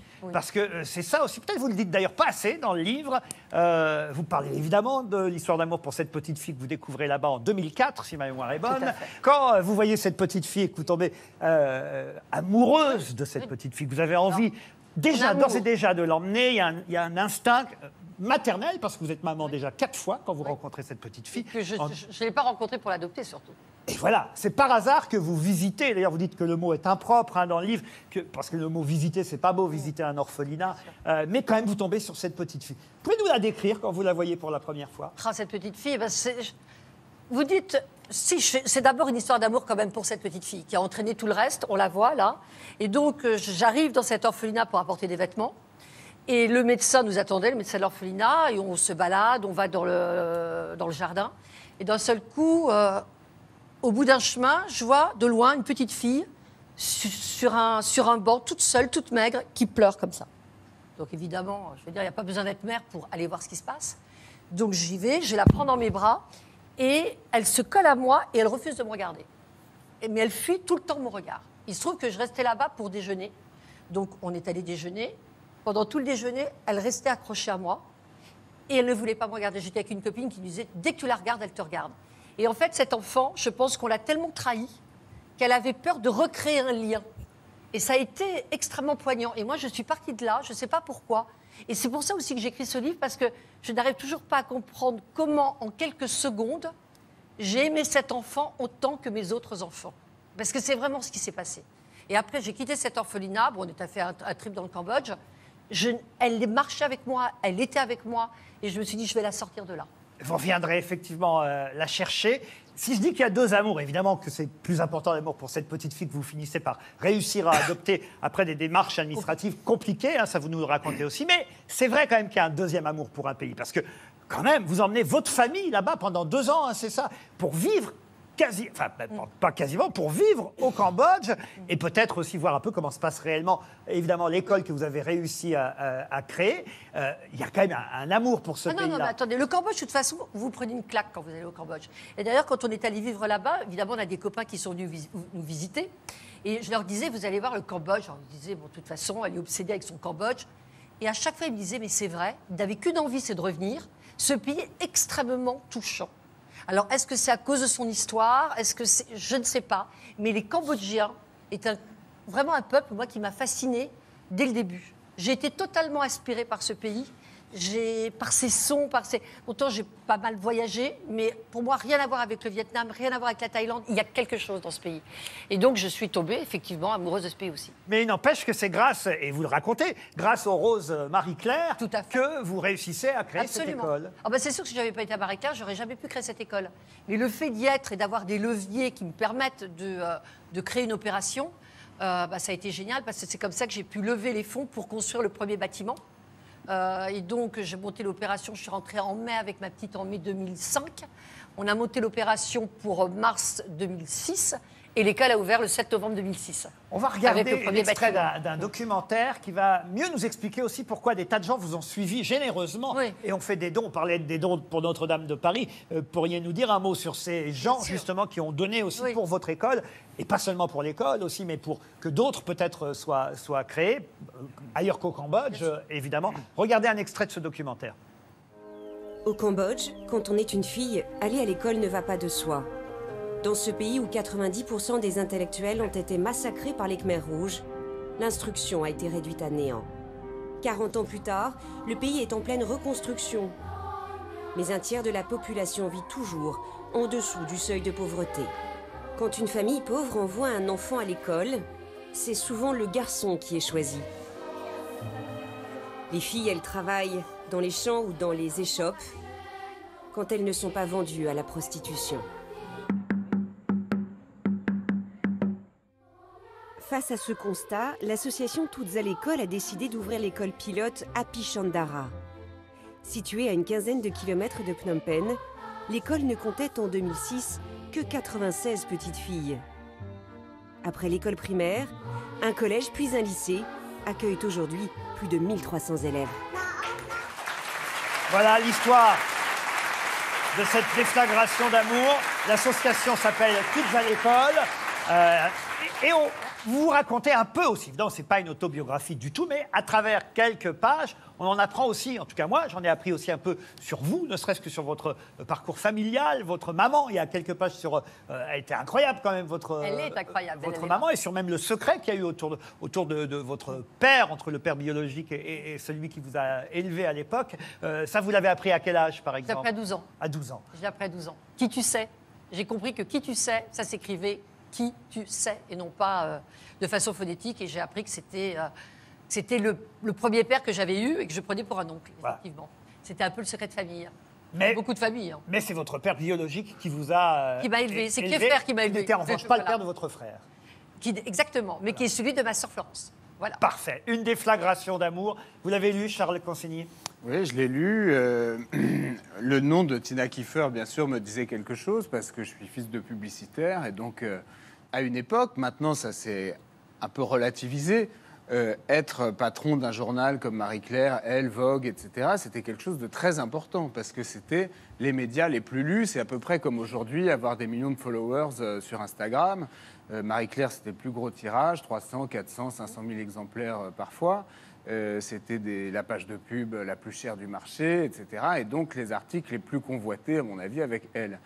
Et du coup, ce qui m'a intéressé, c'est que vous, vous quittez euh, tout ça, euh, qui est quand même, euh, c'est le diable s'habille en Prada, quoi, un peu. C'est quelque chose qui est convoité. Il y a plein de journalistes qui auraient aimé faire ce que vous faisiez. Vous quittez tout ça parce que vous êtes prise d'amour pour cette petite fille et pour ce qu'elle représente, et, et prise non pas d'amour, mais d'un sentiment de devoir pour tout ce qu'elle représente. Donc moi, c'est ça qui m'a intéressé dans ce livre, c'est comment vous dites adieu aux vanités en assez peu de temps, euh, en, en embarquant votre clan avec vous. Je pense que ça faisait quand même Pour faire ce qui vous longtemps- paraît juste. Longtemps que j'avais envie quelque part de m'investir. Et d'ailleurs, c'est pas pour rien que c'était Marie-Claire et qu'avant c'était DS. C'est quand même des journaux qui sont assez engagés. Et d'ailleurs, quand je suis arrivée à Oui, Marie-Claire, c'est pas on a uniquement des journaux féminins, il y a des articles de fond. Voilà. Voilà. Il y il avait beaucoup de photojournalisme à l'époque, il y avait beaucoup d'engagement. Et euh, quand je suis arrivée, ben, il y avait beaucoup d'engagement pour les femmes, parce que c'est vrai que c'est un journal comme Elle qui a accompagné l'émancipation des femmes de façon extrêmement efficace. Mais quand j'y suis arrivée, bon, il y a toujours, on voit que c'est toujours catastrophique, le nombre de femmes tuées, etc. Mais il y avait d'autres combats aussi, plus à l'international, plus aussi sur les enfants. Et moi, c'est vrai que ma, ma sensibilité extrêmement forte au niveau des enfants, j'ai tout de suite mis cette patte-là quand je suis arrivée à Marie-Claire. Donc, euh, je me suis vraiment investie là. Ça a été passionnant, Marie-Claire. Puis, la presse a beaucoup changé. Il y a- C'est devenu le règne des annonceurs. C'est arrivé, cette rencontre. Euh, ça faisait quand même des années que j'étais. Je me rendais compte de ça. Et j'avais une véritable frustration à dénoncer des trucs et à pas faire plus. On en reparle, hein, évidemment, de cette déflagration d'amour. Un mot quand même, euh, Christine, sur le livre de Tina Kieffer, avant de lui poser des questions tout à l'heure. Oui, je préfère euh, poser des questions un petit peu plus tard parce que en fait, euh, autant bon, il y a un côté femme d'action comme ça qu'on ne peut pas ne pas admirer parce que il y a beaucoup de gens qui peuvent, euh, qui ça, ça- ça traverse l'esprit à des tas de gens de dire ah tiens mais pourquoi je vais pas adopter un enfant? Mais oui c'est tellement bien etc. Bon. Ah, mais Et puis- et j'ai jamais puis- dit ça. Non, mais justement, je suis en train de dire qu'il y a beaucoup de gens qui peuvent se le dire, ça peut leur traverser l'esprit, mais le faire, c'est une toute autre chose. Bon, donc ça, c'est vraiment euh, c'est quelque chose qui est, qui est très bien, évidemment. Après, le livre, pour moi, j'ai eu beaucoup de difficultés à le lire, à vrai dire, et il y a beaucoup de trucs qui m'ont heurté, des expressions, un ton, euh, une, espèce de chose dans des schémas un petit peu, une espèce de ton. euh, dynamique enjouée des journaux féminins avec la petite dose de morale qui va avec, parce que euh, quand on est enjoué, il faut toujours le justifier par euh, la façon de savoir exactement ce qu'on dit et d'être justifié dans son, dans son raisonnement. Donc, c'est, en fait, je crois que ce n'est pas du tout un, un livre pour moi, et c'est peut-être pourquoi, quand je lis les magazines féminins que j'aime beaucoup, euh, il y a certains types de- d'articles que, que j'évite parce qu'il y a toujours ce- il y a- il y a l'idée d'un schéma. Combien il y a d'enfants dans l'école, vous nous avez dit là-bas? Presque 1400, qui sont scolarisés à partir du CP. Et l'idée, c'est de les emmener jusqu'à ce qu'elles aient un métier. Donc, on l'a ouvert il y a 14 ans. C'était la, première promo, elles étaient 100. C'est pour ça qu'aujourd'hui, elles sont 1400. Elles ont passé le bac l'année dernière. Et euh, je vais me permettre d'avoir un petit peu de, fierté pour elles. Si ce- c'est pas, c'est qu'elles sont à l'université, elles sont heureuses. Elles ont pratiquement toutes, sont pratiquement toutes arrivées à l'université. Elles ont toutes décroché le bac, alors qu'elles viennent des bidonvilles. Il y a quand même une chose intéressante par rapport à ce que fait Tina Kiefer, c'est qu'on est à une époque, et moi ça, ça, m'a vraiment intéressé, euh, on est à une époque où la politique ne fait plus que, que discourir, où on reproche tout le temps aux hommes politiques de ne faire que parler euh, et de ne pas suffisamment agir. Et là, on a l'exemple euh, d'une action concrète sur le terrain. Euh, c'est mesurable. On est tous conscients, hein. On peut aller Et constater. on ne peut que la Et- féliciter, Et franchement, dans, cette époque où les hommes politiques ne font que parler, Elle euh, agit. et où de plus en plus de gens ne font que parler, elle agit très concrètement, et moi je trouve ça quand même assez admirable. Roméo Elvis, c'est fait pour faire rire d'ailleurs la pochette de cet album, euh, Roméo Bah oui, oui, c'est pas pour se prendre trop au sérieux en tout cas. Euh, parce que vous n'êtes pas comme ça naturellement. Non, non. On- non, parce qu'on a vu Laurent Gérard, vous avez vu Laurent Gérard euh, se moquer de vous euh, sur- Oui, je suis très fier, je suis très fier. Regardez, voilà, il est là, il, il reprend la même... euh, la- En fait, euh, il, il- il a tendance à, à souvent imiter les, les couvertures et les, les affiches. Et je trouve qu'on passe une étape quand on est euh, parodié par Laurent Gérard. J'ai été gérarifié, donc je suis content. C'est votre premier album solo, mais en fait, c'est pas tout à fait votre premier album. Non, non, il y en a eu d'autres. C'est le premier solo, en fait. C'est le premier euh, que je fais en choisissant vraiment tout le, la direction artistique par moi-même. C'est pas un hasard hein, que ça s'appelle Chocolat et que vous soyez belge, c'est vraiment en, en- en hommage au chocolat belge. Tout à fait. Non mais ça m'a surpris quand j'ai lu ça. Vraiment J'avais pas fait le rapport, moi je me disais mais... Non, mais vraiment. qui est sponsor aussi en même temps? Pardon? C'est sponsor en même temps Non, en fait, c'est-à-dire qu'on a, on a travaillé avec des chocolatiers aussi. euh, on a produit un vrai chocolat belge très très bon qui, euh, qui va se vendre l'année prochaine. Ça mais c'est pas sponsorisé spécialement quoi. En fait, je pense qu'il faut mettre les choses au clair. Évidemment qu'il y a une nuance dans le chocolat et qu'on peut faire référence au shit. Mais je pensais que j'étais plus subtil que ça en le faisant. Et je pensais qu'on allait plus comprendre que je parlais du chocolat en règle générale. Et en fait, vu la tronche que j'ai mis sur la cover, j'y réfléchirai. Un extrait de l'album tout à l'heure. En live, il chantera dans cette émission euh, ce titre qui commence déjà à bien cartonner. hein. Moi, j'ai vu le clip euh, passer régulièrement, Malade. Mais pour l'instant, un extrait d'une autre chanson de l'album. Et cette fois, c'est Normal. Normal, normal, normal. Je veux normal, normal, normal. Hein, Nique sa mère, je plus que représente le silence. J'ai peur comme si j'avais des refrains dans le ciment. Je vois pas comment ça pourrait devenir plus serré. Comme le café de mon manger ou le jour où elle a serré. C'est court parce que je voudrais montrer euh, quelques images de vous en live. Parce que j'ai lu quelques critiques qui disent que c'est de la folie, euh, Roméo Elvis euh, sur scène, que vous donnez comme, comme un malade. Tiens, pour emprunter le titre de l'autre chanson qu'on écoutera tout à l'heure. Vous aimez ça, en fait, le live? Ah, j'adore ça. je- pour faire une phrase un peu cliché, je vis pour la scène. Quoi. Pour la scène. Ouais. Et vous ferez justement tous les zéniths de France à l'automne euh, prochain, tous les festivals pendant euh, l'été. Et il y a même prévu déjà Bercy, hein, l'Accor Hotel Arena, le 26 mars 2020. Ça donne ça sur scène, Roméo Elvis.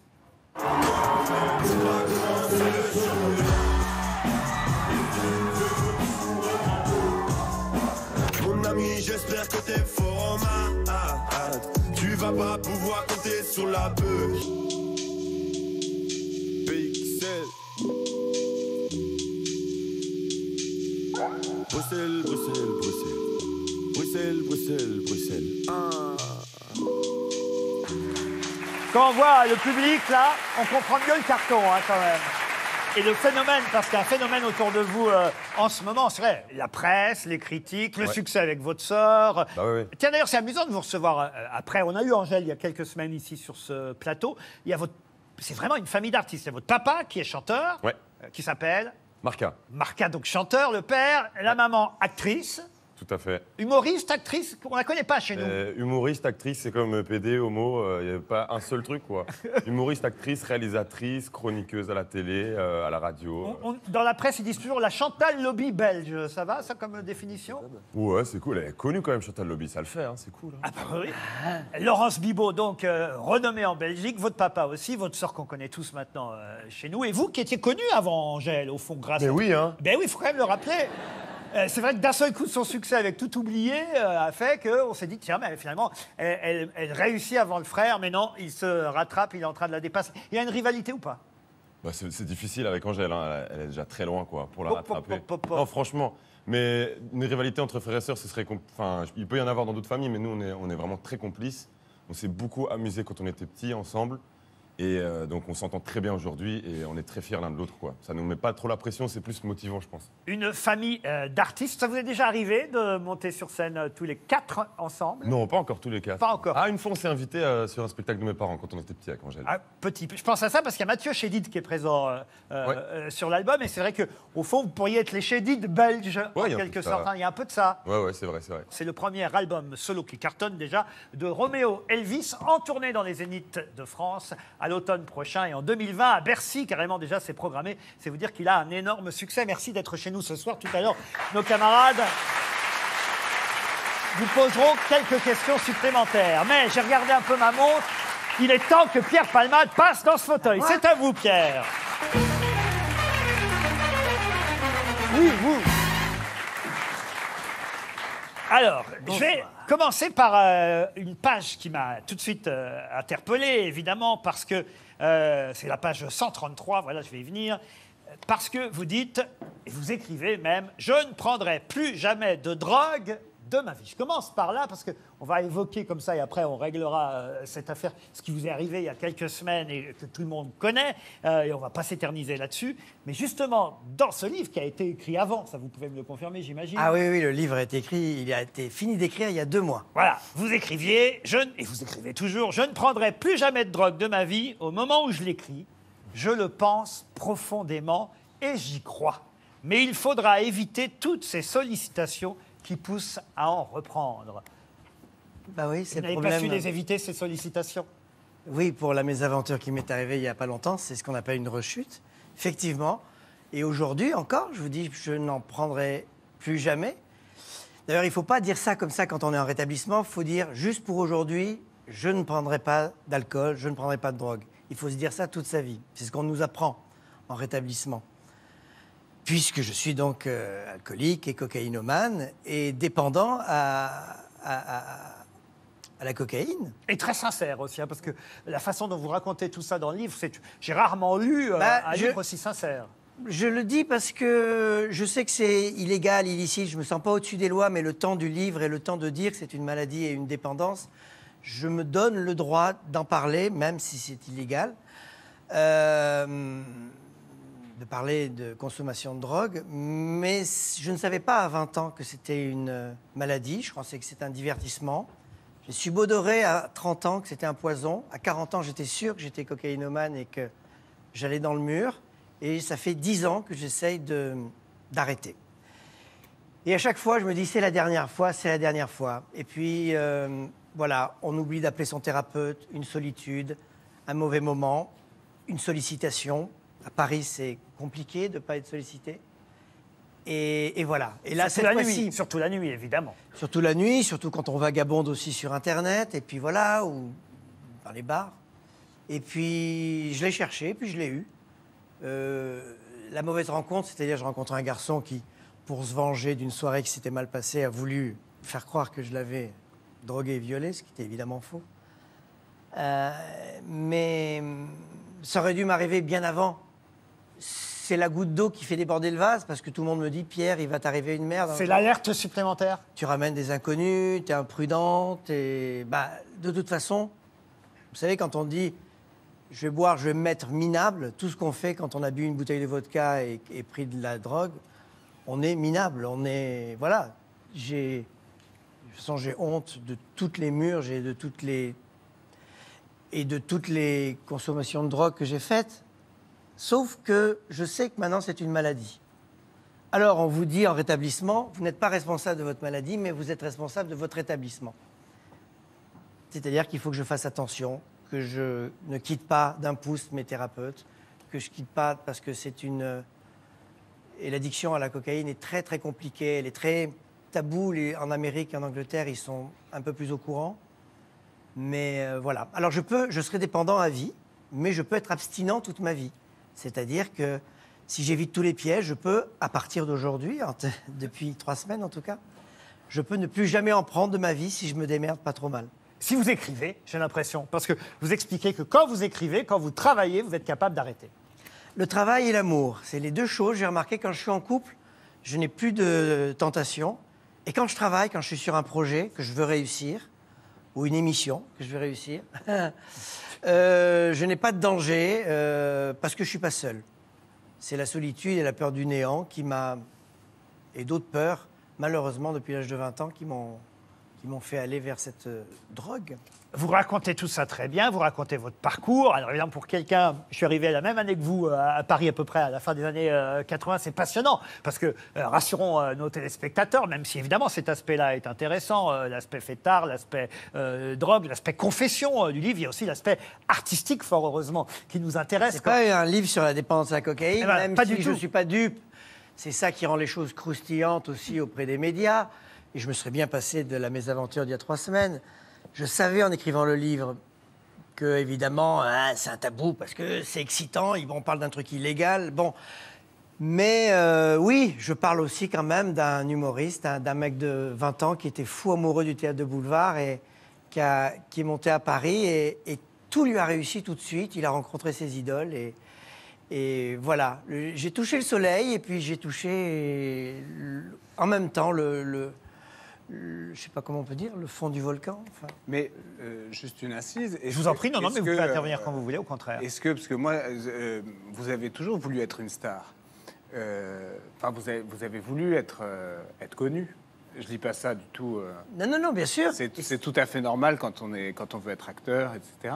Et est-ce que ça fait pas partie de la panoplie de la star aussi, ce genre de, de scandale? C'est-à-dire, j'imagine bien sûr pour vous, c'est terrible à vivre, mais en même temps, euh, ah non. euh, Alors quand, là, là, quand mon Vanity Fair vous consacrera un grand article euh, avec beaucoup de photos, etc., si vous n'avez pas fait au moins une garde à vue, ça aura moins de, Hmm. de, de piquant. Non, non, mais très sincèrement, je l'explique dans le livre. Je suis monté à Paris sans penser un jour que je serais célèbre. D'abord, on n'y pensait pas en, en 90. Aujourd'hui, on dit euh, aux enfants, sois célèbre et après tu passeras ton bac. Mais, euh, mais euh, non, moi, vraiment, je voulais juste jouer au théâtre tous les soirs, sans être connu. C'était, c'est même pas dans mon éducation d'être connu. C'était vulgaire de vouloir être une star. Ou, c'était, ça se faisait pas. Je suis vraiment monté à Paris pour jouer au théâtre tous les soirs. Et, et la télévision, parce que d'audition en audition, Chantal Latsou m'a branché dans une émission qui s'appelait La Classe. Et tout d'un coup, il y a eu cette célébrité qui a été un choc. Parce que ça n'a pas été prévu que je sois célèbre. Et j'ai pas a- géré ça très bien parce que j'avais 20 ans. Pardon Est-ce que ça vous a pas plu? Ah si. Mais, Parce que c'est quand même une forme de reconnaissance aussi. Non, la reconnaissance, je l'avais. je- Pardon, mais je savais que j'étais drôle. Ça m'a pas étonné que je fasse rire.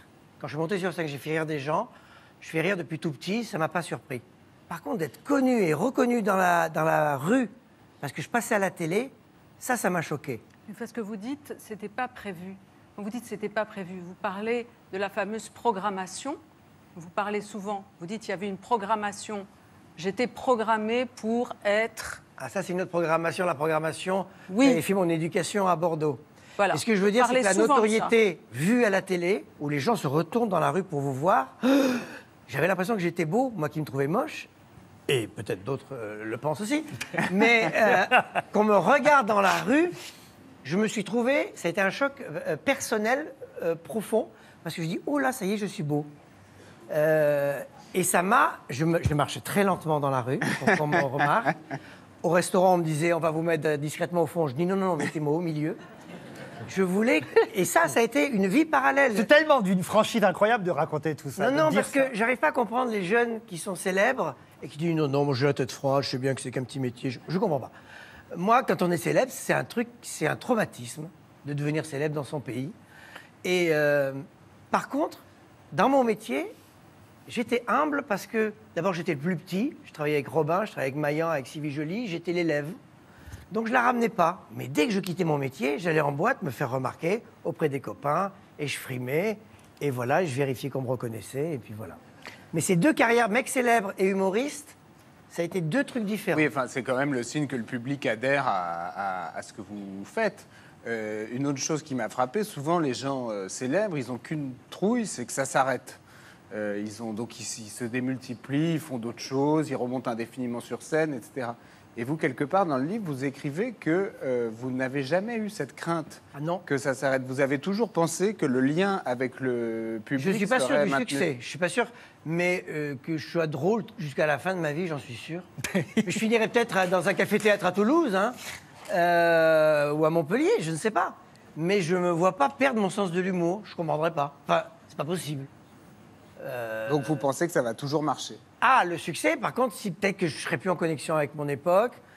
euh, mais je, sais pas, je ressens tellement les choses euh, que je me vois pas. Je cherche tellement à plaire euh, artistiquement que si ça marche plus, bah, bah, c'est vous qui avez gagné.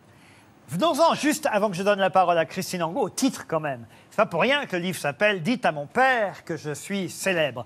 Vous avez euh, perdu votre papa, vous étiez très jeune, euh, Pierre. Vous racontez euh, l'histoire et vous racontez d'ailleurs qu'on vous cache pendant un, court temps, mais tout de même quelques jours, on vous cache le fait que votre papa soit, décédé. Votre maman n'ose pas vous le dire. Et vous racontez d'ailleurs que c'est assez terrible. hein, il part. Puisque votre papa était euh, médecin, accoucheur, et il part accoucher euh, quelqu'un euh, en déplacement, et, c'est en rentrant en voiture qu'il a cet accident qui va lui être fatal. C'est évidemment quelque chose qui marque énormément. Pourquoi vous avez eu envie d'appeler ce livre Dites à mon père que je suis célèbre? Parce que, en fait, à tout moment, vous continuez à penser à lui? Bah, de plus en plus, j'avais caché mon chagrin. Je crois que ça a été un tel traumatisme que très longtemps, je parlais que de ma mère tout le temps, ma mère, ma mère, ma mère, et j'avais occulté le, le- la peine et le chagrin et le traumatisme de la disparition de mon père. Et en fait, euh, depuis quelques années, en psychanalyse, je me suis rendu compte que c'est ça mon plus gros drame. Vous aviez 8 ans, hein, c'est ça? Oui, j'avais 8 ans quand il est mort. Et puis, euh, je passe mon temps à attendre des félicitations de mon père, qui ne viendront jamais, forcément. Et j'aimerais savoir ce qu'il pense de moi artistiquement, ce qu'il pense de la vie que j'ai, s'il m'en veut pas d'être homosexuel. J'aimerais savoir plein de choses. Et donc, j'aimerais que réponde à tout ça. Vous écrivez J'ai souvent rêvé que mon père revenait avec sa voiture de cet accouchement de nuit. Je me suis posé une question idiote. Je ne sais pas si vous vous êtes posé cette question-là. Je me suis dit Est-ce qu'il a eu envie de connaître, de savoir qui était l'enfant J'ai pensé à ça. Je ne sais pas pourquoi. moi aussi, Est-ce que vous, avez, ah, vous aussi, vous avez pensé à ça Euh, Est-ce que vous avez eu envie de connaître l'enfant qui était né cette nuit-là de l'accouchement de votre papa, qui hélas euh, euh, est mort quelques heures après? Non, il y a, il y a beaucoup de dames qui sont venues à la fin de mes spectacles pour me dire euh, Vous savez, euh, ma fille est née grâce à votre père. Euh, bon, j'ai j'ai connu des gens qui l'ont connu. Non, j'ai pas Mais- poussé le. Mais cette idée-là, vous n'êtes jamais. Non, c'est un petit peu mm, mor- morbide. Oui, mais je sais pas, c'est une curiosité tellement incroyable, un enfant qui naît, quelqu'un. Non, mais, qui non, non, mais tout ce qui, est, ce qui me fait réaliser la vraie mort de mon père, je. Vous l'occultez Je l'occulte. Christine Angot, vous avez lu le livre de Pierre Palmade. Oui, j'ai lu le livre, j'ai lu les interviews. C'est c'est assez. euh, déjà, déjà, j'aime. J'aime les, les sketchs, j'aime le travail, j'aime j'aime cet humour, j'aime la façon. D'ailleurs, vous vous décrivez vous-même. Vous dites Je sais que j'ai du talent. Quand je monte sur scène, tout le monde me regarde. Quand je parle, quand je m'agite, je capte l'attention. Là, pareil, vous asseyez dans le fauteuil. Il y a une ambiance qui a changé, il y a quelque chose, a- je ne sais pas.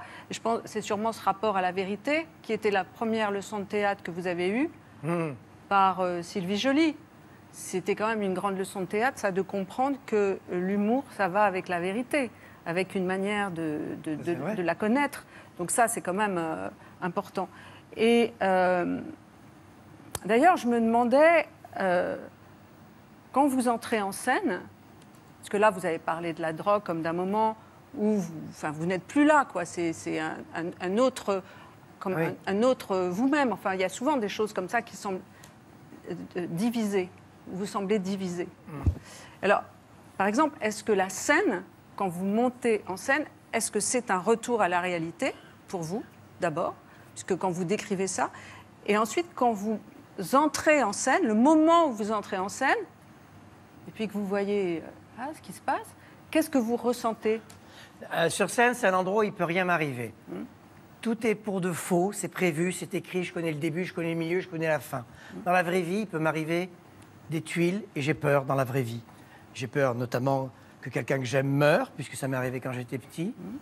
J'ai peur de la vraie vie, j'aimerais, j'adorerais répéter la vraie vie pour euh, savoir comment ça va finir et tout ça. Je suis effrayé par beaucoup de choses. Sur scène, je, je n'ai plus peur, il peut rien m'arriver. Et c'est parce que vous n'avez plus peur que vous pouvez dire autant de choses, parce que vous Exactement. allez, vous allez quand même super loin. hein, c'est aussi bien dans les journaux. Les journaux, c'est comme une scène où la vie personnelle peut être dite, et du coup, ça fait dire la vérité, ça peut être comme un puits sans fond euh, qui se vide, et puis on n'a plus rien à soi. Bon, moi, il y a une phrase de Gérard Depardieu euh, en 75, hein, il avait 26 ans, que je voudrais vous soumettre.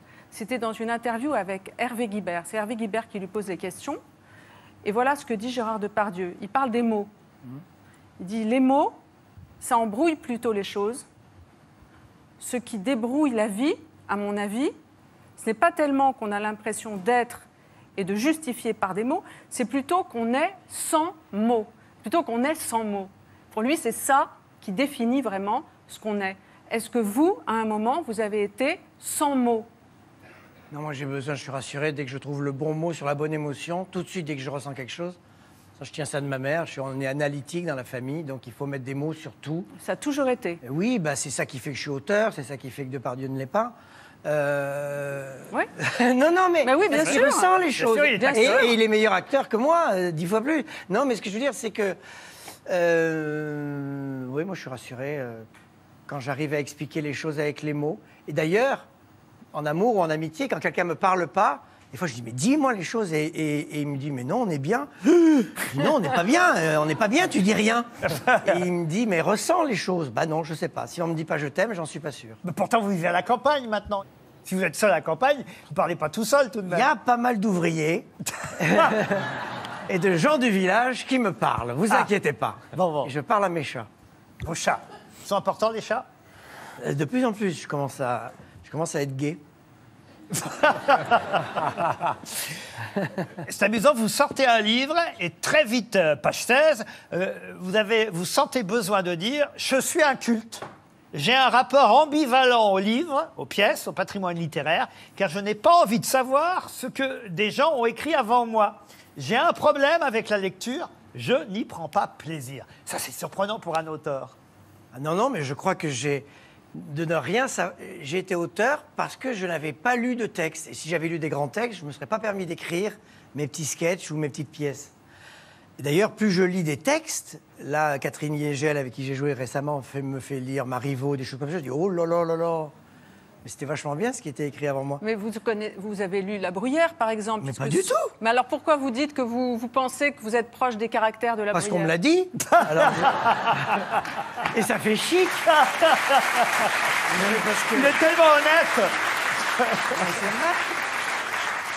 Alors, pour, pour la, je- puisqu'on est dans l'honnêteté et la transparence, ce livre a été écrit avec Éric Libio, qui est le rédacteur en chef culture de l'Express, qui a transcrit des entretiens qu'on a faits et on a recorrigé ensemble. hein. C'est pour dire que si le style d'aventure vous a plu, c'est parce qu'il l'a. Je pense pas que j'aurais écrit moi-même aussi bien. qu'Éric Libio qui vous a Libio. aidé dans cet exercice. Ce qui est bien aussi, c'est les hommages que vous rendez. à- à- oui, pardon. J'ai répondu? Oui, je crois. Non? J'ai répondu. Oui. C'est les hommages que vous rendez aux uns et aux autres. Je leur redonne la parole de toute façon à Charles et, à Christine. Mais on a parlé euh, de, Jacqueline Maillan, on a parlé de Sylvie Joly. C'est la première hein, que vous rencontrez. Non seulement que vous rencontrez, mais en fait, si vous montez à Paris, c'est parce que déjà vous l'avez rencontrée et c'est pour un deuxième rendez-vous avec elle. Tout à fait, c'est génial. Je, sors juste du bac, j'ai 18 ans et je, vais à Paris quelques jours pour suivre un copain comédien, un petit copain comédien. Et puis euh, je vais voir Sylvie Joly et quand je la vois jouer ses sketchs, je dis c'est ça que je veux faire. Je veux parler à des personnages imaginaires sur scène et faire des sketchs, pas adressés au public, ce qu'on appelle le stand-up, mais de l'humour de comédie, euh, voilà, avec des faux personnages, avec des personnages imaginaires. Je vais la voir et je dis Ah, je voudrais faire comme vous. Elle me dit bah je cherche un élève. On commence euh, jeudi. Mais c'est pas que j'habite à Bordeaux. Et donc, me voilà en train de dire à ma mère, bon, bah, ma prof, c'est Sylvie Joly. Bah, je ne reviendrai, pas- reviendrai pas à Bordeaux. Et ça, ça a été la première euh, carte euh, de visite. euh, prof, Sylvie Joly. L'autre femme, évidemment, très très importante dans le livre, on n'a pas encore cité son nom, c'est évidemment Muriel Robin. Parce que c'est amusant comment vous vous complétez, vous racontez à quel point, combien au fond elle a eu besoin de vous. Je ne sais pas si le mot besoin est, important, mais quand même, en tout cas, vous l'avez aidé à être célèbre et connu grâce au sketch que vous avez écrit ensemble. Et combien euh, l'inverse est vrai aussi, combien elle vous a aidé, par exemple, et on le sait moins, pour euh, les spectacles que vous avez fait avec euh, Michel Larocque au début en termes d'écriture. Vous vous complétez énormément. Muriel Robin, mon, mon idole, c'était Jacqueline Maillan. C'était, pour ceux qui sont un peu jeunes, c'était ce qu'on appelait la reine du boulevard. C'était la femme la plus drôle au théâtre du boulevard des années 60 à 80. Il y en a eu d'autres, mais Jacqueline Maillan était la reine du boulevard. Et je l'admirais. Et je trouvais que Muriel Robin lui ressemblait. Quand au petit théâtre de Bouvard, je voyais Muriel Robin. C'est-à-dire que vous étiez à Bordeaux et vous voyiez déjà euh, Muriel Robin à la télévision. À la télévision. Et quand je suis arrivé à Paris, j'ai dit bon, je pourrais jamais avoir accès à Jacqueline Maillan, elle est trop célèbre, mais il faut que je trouve cette Muriel Robin qui est pas encore très connue. Euh, et je suis sûr que je pourrais lui écrire tout ce que je pourrais écrire pour Maillan. Et je la rencontre, Muriel Robin, et je lui saute dessus. Je lui dis J'ai plein d'idées pour vous. Elle voulait faire du théâtre, elle voulait même quitter ce métier, elle savait plus ce qu'elle voulait faire. Et je lui dis J'ai plein d'idées pour vous. Et le soir même, on a commencé à écrire Le Noir, l'addition, le répondeur, tous les sketchs qui l'ont rendu célèbre. Et on s'est. On s'est jamais quitté pendant dix ans. On a écrit ensemble, euh, voilà, ces sketchs et puis les miens avec Michel Larocque. Elle était, je lui lançais une idée, elle rebondissait dessus, c'était incroyable. On, on- on était en fusion avec Muriel. Elle le raconte hein, d'ailleurs dans son propre livre. Euh, elle raconte cette scène-là dans, dans son propre livre. Alors moi, je ne savais Robin. pas que j'avais que Muriel ne voulait, voulait être autre chose qu'humoriste. Après, elle s'en est, euh, elle en a souffert d'être réduite à humoriste. Mais moi, je pensais qu'elle voulait être la nouvelle Maillan. D'ailleurs, on lui disait au cours au conservatoire qu'elle était la nouvelle Maillan. Mais je crois que Muriel euh, euh, voulait être et drôle et émouvante. Ah, il voulait être Annie Girardot aussi. Elle voulait être Annie Girardot. Ça, je ne D'autres- sais pas écrire pour Annie Girardot. D'autres questions, euh, Charles et Christine? Oui, euh, vous avez confessé, euh, à la fois dans ce livre et à l'occasion de cette petite euh, histoire, euh, vos difficultés euh, sentimentales. Euh, en gros, vous expliquez que vous ne trouvez pas l'amour, euh, que maintenant, à votre âge, euh, après avoir beaucoup euh, fait la fête, etc., c'est ce à quoi vous aspirez. Et il y a un moment dans le livre où vous écrivez euh, euh, L'idéal de l'homosexualité, c'est du cul et basta. Je me refuse à l'amour et à vivre une relation durable.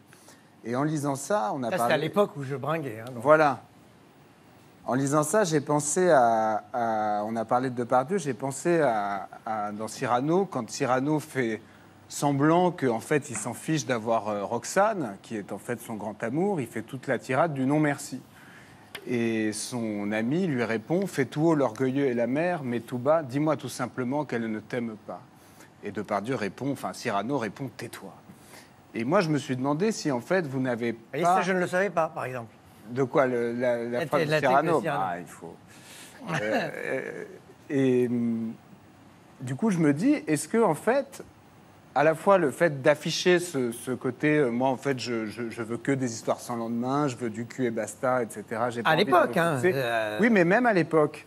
Et le fait d'avoir quand même pendant un certain temps euh, de ne pas vous être fixé avec un mec, il y a un autre endroit où vous dites, à 50 ans, je ne connais pas cette sensation de dire comment ça va chérie, qu'est-ce que tu as fait aujourd'hui?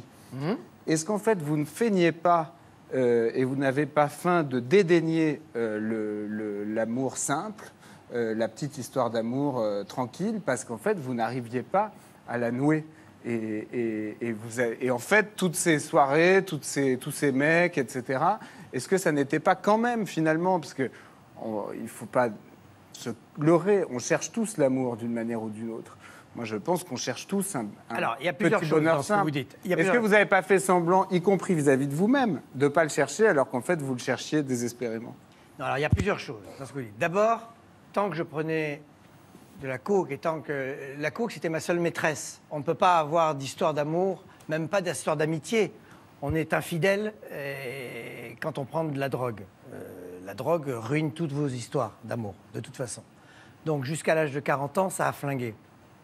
Après, J'avais un problème avec le romantisme avec les garçons, parce que si j'avais eu le choix, j'aurais voulu être hétéro. Et j'avais beaucoup de mal à tomber amoureux d'un garçon, et surtout qui tombe amoureux de moi. Sexuellement, j'étais attiré par les garçons, mais... Vous dites que vous étiez un peu homophobe. Vous vous sentiez comme... Que moi, sur moi, Ouais, oui. Je, n'aimais auto- pas mon homosexualité. Auto-homophobe. Voilà. C'est un nouveau concept. J'avais entendu dire ça, auto-homophobe. Je je n'aimais pas mon homosexualité. Non, je n'étais pas homophobe parce que je voyais bien que c'était normal l'homosexualité. Mais euh, j'avais prévu, j'aurais voulu être hétéro, j'aurais voulu. La société m'a fait comprendre que si on voulait se faire aimer par tout le monde, il fallait être euh, hétérosexuel. La religion vous le dit aussi. Et moi, petit, j'ai entendu ça et je l'ai cru. Et je suis arrivé à 20 ans à Paris en disant Bon, je vois bien que les garçons me plaisent, mais bon, euh, officiellement, je vais quand même essayer d'être hétéro. Donc, j'interdisais aux garçons d'être amoureux de moi euh, et je séduisais les femmes sans vraiment coucher avec elles. Donc, si vous voulez, je perdais des deux côtés. Et puis, euh, quand j'ai commencé à me dire, d'ailleurs, c'est quand j'ai dit, il y a 5-6 ans, je suis triste d'être homo, et toute la communauté gay m'est tombée dessus, un peu, euh, de raison, j'aurais dû dire, la société fait en sorte que je suis triste d'être homo. Euh, je me suis dit, mais c'est pas normal que je sois triste d'être homo, et je commençais à me consoler et à me dire, bon, bah maintenant, laisse le romantisme passer. Après, il y a autre chose, c'est que je n'aime que les très très beaux garçons. Je n'étais attiré que par le, un physique, un genre de physique, je sais pas pourquoi. C'est un- Aux cheveux longs, en plus. Aux cheveux, cheveux longs, Cédric. Barbu aux cheveux longs. non, mais j'étais. Roméo très- Elvis s'est coupé les cheveux avant de venir, il s'est fait un carré. J'étais, euh, je ne regardais que le physique. C'est pour ça d'ailleurs que ça durait pas très longtemps. Et j'occultais le charme et parce que ça venait aussi de l'immédiateté de la boîte de nuit. En boîte, on arrive, euh, on regarde le plus beau et c'est celui-là, c'est un homme trophée. On cherche, euh, on cherche, voilà, l'immédiateté. Et dans la vraie vie, non, ça prend du temps. On n'a pas regardé la personne au début, puis finalement on lui parle, puis finalement on rit, puis finalement on se charme, on se séduit, et puis on a envie de coucher avec l'autre personne. Et je pense qu'en prenant le temps de vivre, ça va m'arriver. Qu'est-ce qui a fait qu'aujourd'hui vous avez complètement changé par rapport à ça? Ben, parce que j'essaie d'arrêter la, drogue, l'alcool et la drogue, et ça, ça, ça, me donnait un- une relation aux autres, et aux, amoureux, aux garçons, à la sexualité, complètement euh, tordue. Enfin, je veux dire, euh, 10, euh, oui, tordue. Parce que c'est une libération qui vous a permis de vivre votre homosexualité, mais en même temps, c'est une libération fausse. C'est ça qui est horrible, c'est que voilà. ce que j'explique, c'est que en prenant- quand je prenais de la, de la cocaïne, euh, je supportais beaucoup plus facilement d'être homo. C'est-à-dire à 20 ans, quand j'étais à jeun, je n'aimais pas être homo, et dès que j'ai découvert le mélange alcool-cocaïne, enfin, j'adorais être homo, j'étais moi-même. Je disais, je vous emmerde, euh, et je couchais avec les garçons sans honte. Euh, c'est pour ça que j'ai aimé me droguer, c'est parce que je pouvais être enfin moi-même. J'ai cru que c'était un médicament, alors que ça allait devenir un poison. Une addiction. Une addiction et un poison. Euh, donc, non, non, j'ai rien faim. J'ai rien faim. J'ai juste été trop longtemps euh, dans ma vie privée parce que j'ai protégé mon métier. Je l'ai fait le maximum possible à jeun. Mais ma vie privée, elle a été alcoolisée et, et cocaïnée trop longtemps pour que je puisse savoir ce que c'est que les sentiments euh, qui arrivent petit à petit dans la vie. D'ailleurs, il y a des ch- parce qu'à travers évidemment ce qui n'est pas joyeux, parce que c'est pas joyeux de euh, lire des pages où quelqu'un euh, raconte cette addiction, ce mal-être, parce que c'est aussi un mal-être. À travers ça, il y a quand même des moments très drôles dans le livre. Vous racontez, par exemple, moi j'ignorais ces histoires-là, comment parfois le matin, au petit matin, vous appeliez, puisque après avoir fait la brinque toute la nuit, vous appeliez Nicolas Sarkozy et vous lui donniez des conseils de politique. Ah, je regardais. Oui, oui. Parce que bon, il y a un moment, la cocaïne empêche de dormir. Euh, Il y a un moment où plus personne voulait coucher avec moi, puisque parce que parce qu'il était 9 h du matin et tout le monde était rentré, tout le monde dormait et moi j'étais encore complètement euh, euh, réveillé. Et je dis bon, qu'est-ce que je pourrais faire? Et mon cerveau marchait à fond. Appelez et Sarko, je dis évidemment. tout, le monde, bah, tout- tout le monde y pense. et je me Tout le monde suis dit, je sais, je vais appeler le ministre de l'Intérieur pour lui proposer des projets de loi. Ben oui. C'est Et, génial, ben, et je me dis, bon, de toute façon, ça va pas marcher, mais bon. Et donc, j'ai appelé le mi- ministère de l'Intérieur. Bonjour. J'ai dit, bonjour, euh, je voudrais parler à Nicolas Sarkozy. Il n'est pas là, de la part, Pierre Palmade. Ne quittez pas. Oh Moi, je dis merde, il me prend. Et là, j'en rigole, c'est pas bien. hein, mais- Et là, je dis merde, il faut que je trouve un projet de loi. Et je dis ah. Et je dis ça y est, je sais. Et il me dit allô Pierre, s'il adorait les artistes, les gens célèbres. Et je dis oui, bah, bonjour, bah, je vous appelle. J'ai pensé à un- j'ai pensé à une loi. euh, je me souviens une fois, je lui ai dit pourquoi on n'apprendrait pas euh, l'arabe en langue vivante 1 Pourquoi on... Non, mais c'est vrai pourquoi on, on nous fait apprendre l'anglais et l'espagnol et pas l'arabe, alors que c'est quand même une langue très parlée en France? Et là, il était un peu interdit au téléphone et, et il me dit, je vous rappelle, j'ai un conseil des ministres. Et à la troisième fois, là, au troisième projet de loi, il a compris que j'étais pas clair et il ne m'a plus pris au téléphone. J'en ris un peu, hein, mais c'est pas. Voilà.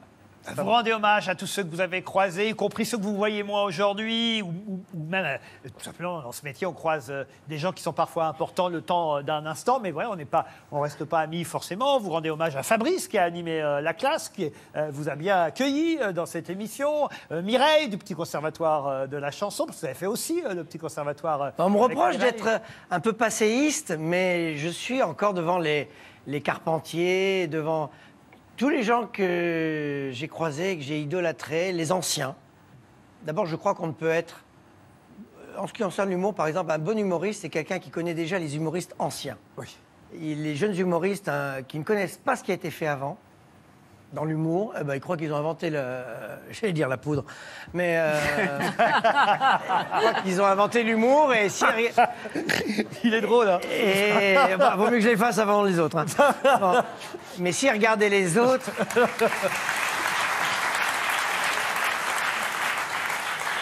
Si regarder Poiret, Serrault, Daricot, le- euh, Francis Blanche, eh ben, ils se rendraient compte qu'ils n'ont pas inventé grand-chose. Alors il y a aussi euh, vos copains hein, de la même génération, à quelques années près. Euh, vous citez Jean-Marie Bigard, qui a été important si à un moment donné, même si vous le voyez moi aujourd'hui, dites-vous. Euh, François Rollin, important aussi parmi les gens que vous rencontrez, parce qu'il vous, a- il vous emmène vers l'absurde un peu plus. Ouais, puis j'étais, j'adore le talent des autres, j'adore écrire pour les autres. Ça, c'est un truc que n'avait pas tout le monde parce que j'avais des idées et je les gardais pas toutes pour moi. J'en ai donné beaucoup à Muriel Robin. Euh, J'en ai donné quelques-unes à Jean-Marie Bigard. Il a écrit des sketchs comme La Chauve-souris, enfin des choses, des, des vieux sketchs dans les années 90 où il n'y avait pas un seul mot vulgaire. C'est pas- C'était le deal avec Jean-Marie. J'ai dit, OK, on écrit des sketchs, mais on fait pas une grossièreté dedans. On a beaucoup ri avec Jean-Marie. Et, euh, et pour d'autres, j'écrivais, ben voilà, oui, pour Maillan, pour Sylvie Joly, pour Mimi Mati, pour euh, Dominique Lavanant. J'adorais écrire pour des gens qui- que j'admirais. J'aurais adoré écrire pour Jacques Villeray, j'ai pas eu le temps. Et aussi, évidemment, les pages consacrées à votre mariage avec Véronique Sanson, elles sont belles, ces pages que vous écrivez à propos de ce mariage, qui parfois fait rire, parce que... euh, Je crois que je ne suis pas, j'ai dû passer dix fois ici. Pas une seule fois, je n'ai pas parlé de Véronique Sanson. C'est vrai, mais là, là, là, pour le coup, on apprend, Ah oui. racontez tout dans ce livre. Euh, Pierre, la rencontre, moi j'ignorais que c'était chez Catherine Lara, que euh, la rencontre euh, s'était faite. Ce qui est amusant d'ailleurs, hein, que vous nous racontez, c'est que Catherine Lara vous dit Ah, il y a Véronique Sanson qui doit passer, va-t'en, parce que euh, je veux être toute, en gros, hein, je veux être euh, toute seule euh, avec elle. Et, et vous, là déjà, comme un instinct, vous dites Non, non, non, je veux rester, je vais rester que 5 minutes, mais je veux au moins la voir 5 minutes. Non, ce qui est- j'ai réalisé il n'y a pas longtemps que c'était la même année. Que Véronique, c'était 95. Et Michel Larocque, sur scène, c'était 96. Et à une année près, je m'affiche avec Véronique, le plus sincèrement du monde, et avec Michel Larocque pour jouer un couple hétéro qui sera très connu. Sur scène. Donc je me dis que vraiment à cette époque-là, j'avais pas du tout envie d'être homo, et je voulais, à mes yeux et aux yeux de la société, être plus hétéro qu'un hétéro. J'étais avec deux belles blondes, une à la vie, une à la scène. C'était la même année. Et c'est vraiment, je ne me reconnaissais plus dans le milieu gay. D'abord, je croyais qu'il y avait que là où il y avait des homosexuels. Et c'est pas vrai. C'est un milieu extraverti euh, et dans lequel je ne me sentais pas forcément très à l'aise. D'ailleurs, j'étais pas dans un état normal pour, pour y être à l'aise. Et puis, euh, donc, quand, je- on s'est vu, Véro et moi, bah, je me suis senti moins seul avec elle et je me suis dit, bah non, bah voilà. Vous dites même, c'est étonnant, cette lucidité, ce qui est fou, c'est que les gens ont finalement plus cru à mon couple avec Michel Larocque sur scène qu'à mon couple avec Véronique Sanson dans la vraie vie. Ben oui, un jour dans un taxi, il y, en a un qui, y a un taxi qui me dit euh, Oh là là, ce mariage, qu'est-ce que j'ai rigolé? Pardon? Je dis Quoi? Et puis il me dit Et le divorce, ça aussi, j'ai rigolé. Je lui dis Mais enfin, monsieur, je lui dis Vous vous mêlez de la vie privée comme ça avec vos clients Il me dit Mais non, vos spectacles avec la rock. Je dis, ah oui. Et puis, donc voilà, il croyait plus ça. Vous ajouter Et- Est-ce que ça montre pas aussi que vous avez un, un- un lien quand même très singulier au public? Et en fait vous êtes en connexion avec eux comme si c'était vos proches Euh, Par exemple, votre, euh, votre espèce de de- d'avancée vis-à-vis de l'homosexualité, la première fois où vous êtes avoué bisexuel, c'était chez la psy du PAF, euh, Mireille Dumas.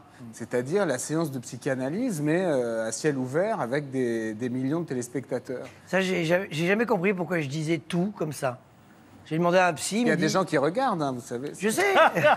On n'est pas. euh, Mais je sais, mais il y a un chauffeur, toujours un chauffeur taxi, qui m'a dit, qui m'a dit un jour, de manière assez hargneuse, mais pourquoi vous racontez autant de choses comme ça? Je sais pas. J'ai l'impression que si je dis tout sur moi, les gens vont me dire tout sur eux. Parce que moi, ça m'énerve. Enfin, une conversation où on parle de la dernière exposition de Picasso, enfin, de, du, sais pas quoi, où on se dit pas qui on est profondément, la mort, la vie, l'amitié, si on se dit pas tout ce qu'on a, nos secrets, ça ne m'intéresse pas. Là, on rejoint la pièce que vous avez jouée avec Catherine Liegel, le lien. C'est-à-dire ne pas parler de choses euh, inutiles ou euh, anecdotiques, de parler du fond. hein. c'est ce que vous lui reprochez euh, dans la pièce à Catherine et C'est c'est un, un fils qui reproche ça à sa mère, mais au fond, voilà, on rejoint, à travers le texte de Bégodeau, on rejoint ce que euh, vous, vous pensez dans la vie. Bah oui, oui, oui. Bah, je, co- je commence le, le livre avec cette phrase de Paul Valéry, euh, une des rares citations que je connaisse, qui est euh, Les hommes se distinguent par ce qu'ils montrent et se ressemblent par ce qu'ils cachent. Et voilà, moi j'ai très vite envie de savoir ce que cachent les autres, parce que ça me rassure, parce que dès qu'on se dit nos secrets, bah, on se rend compte qu'on se ressemble un peu tous. Moi, il y a un truc qui m'a vraiment, Dernière question de qui m'a vraiment frappé et, et touché. C'est pas moi, hein, n'allez pas faire d'accusation. euh. C'est le moment frappé et touché, ça serait un peu. euh, enfin, en tout cas, euh, c'est le moment du procès 95 où vous parlez carrément de traumatisme. C'est une histoire de, de, de Consommation de drogue. qui est trouvée de, de chez vous ou quelque chose comme ça, non? Ben, J'étais dans le calepin d'un dealer et c'était Ouais. à l'époque où la loi ne considérait pas encore la toxicomanie comme une euh, maladie, mais comme juste un délit. Mm. C'est les deux. Mais aujourd'hui, on est, on, on est sommé de, se faire soigner et on- euh, au lieu d'être puni. Mais- Euh, mais je vais vous dire ce qui m'a touché là-dedans. Pardon, excusez-moi, oui, c'était Ce qui m'a vraiment touché là-dedans, c'est que vous parlez d'un traumatisme. Et on vous pose une question. La, la juge vous dit Bon, bah alors voilà, racontez-moi, etc. Et vous, exactement comme vous le faites et que le chauffeur de taxi vous le, vous le reproche, vous dites les choses. Vous dites Voilà, c'est comme ça, vous expliquez, vous expliquez super bien. La coke est un amplificateur, c'est la seule drogue horizontale, etc. Vous expliquez ce que ça vous permet de faire. Enfin, vous êtes super honnête, super vrai. Et donc, je n'ai pas la ça conscience que ça peut se retourner contre pour moi. À l'école, quand on disait la vérité, on était, on n'avait pas la punition. Voilà. Alors ça marche pas trop avec les flics. J'ai essayé, ça marche pas.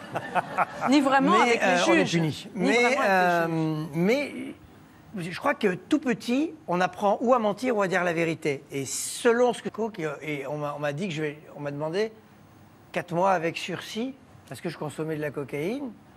Et là, je me dis ah bah euh, là, je viens tout juste de goûter un produit qui me va bien, que je et là, on m'explique que je vais aller en prison. Enfin, on m'avait rien expliqué de même que c'était un délit et tout ça. L'idée de la prison, c'est la mort pour moi. Et puis, euh, j'avais pas eu une heure de colle de toute ma scolarité. Et là, j'allais aller quatre mois en prison parce que j'avais pris de la cocaïne. Oui, c'est la loi et c'est vrai, hein, il faut être puni, mais je comprenais rien. Et, et là, l'enfant gâté que j'étais et l'enfant chéri, euh, dans la vraie vie, il comprenait rien de ce qui lui arrivait. oui.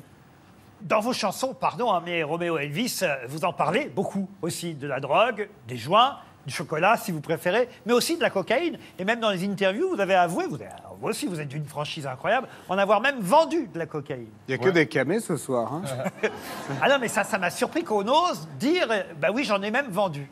Oui, mais, mais c'est quand euh, Monsieur Palmade, Monsieur Pierre Palmade parlait de un peu d'impudeur comme ça, du fait de toujours dire tout comme ça. C'est vrai que moi je me reconnais là-dedans dans l'album. J'étais très euh, impudique et, euh, et en fait euh, j'ai beaucoup glorifié le, pétard en fait pendant toute mon adolescence et pendant toute la, montée de ma de ma carrière.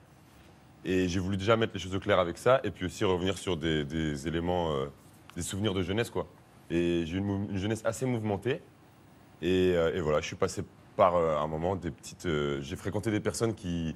Qu'il fallait pas Qu'il fallait pas. Et là où euh, vous disiez que vous preniez de la drogue pour être vous-même, euh, moi j'essayais de ressembler à un autre mec et euh, j'essayais d'être un petit peu, d'appartenir à un groupe un peu de, de bad boy et tout. Et je me, je me décomplexais du, du petit-fils d'artiste que j'étais à cette époque-là, quoi. Vous, c'était pour être un autre, en fait. Ouais, c'était plus Comme ça. quoi, il n'y a pas de règle. Me donner un style et, euh, et, euh, et, euh, franchir des frontières, quoi. Un mot sur vos En tout cas, euh, la drogue, consommer de la drogue, ne pas pouvoir s'empêcher d'en consommer, c'est ni à glorifier ni à condamner, c'est à, c'est une maladie. à guérir. C'est à guérir. C'est pour ça que les gens qui disent sale drogué, c'est comme si on disait sale cancéreux.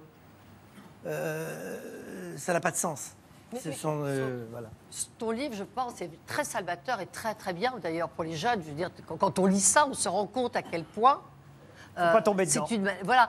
Mais en même temps, il y a un truc qui m'étonne, c'est la puissance de l'élan créatif. Parce qu'arriver à arrêter la coke, arrêter l'alcool pour écrire, et écrire aussi bien.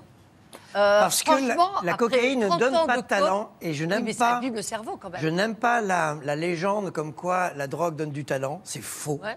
C'est faux. Euh, moi, j'ai le, peu- le au peu que j'ai écrit abîme. Sous alcool et sous drogue, c'est de la merde. Je joue mal, j'écris mal.